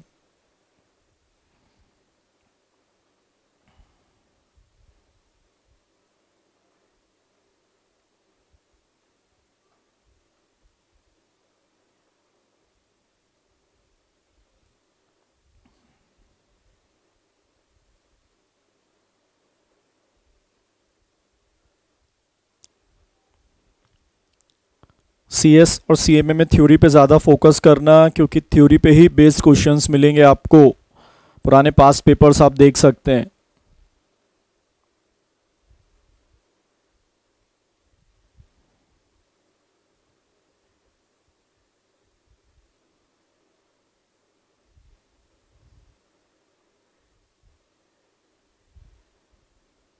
clear बाकी practicals जितने मैंने बता दिए more than sufficient है for C S professional C S executive C M A inter clear चलिए, बस आज के लिए इतना ही।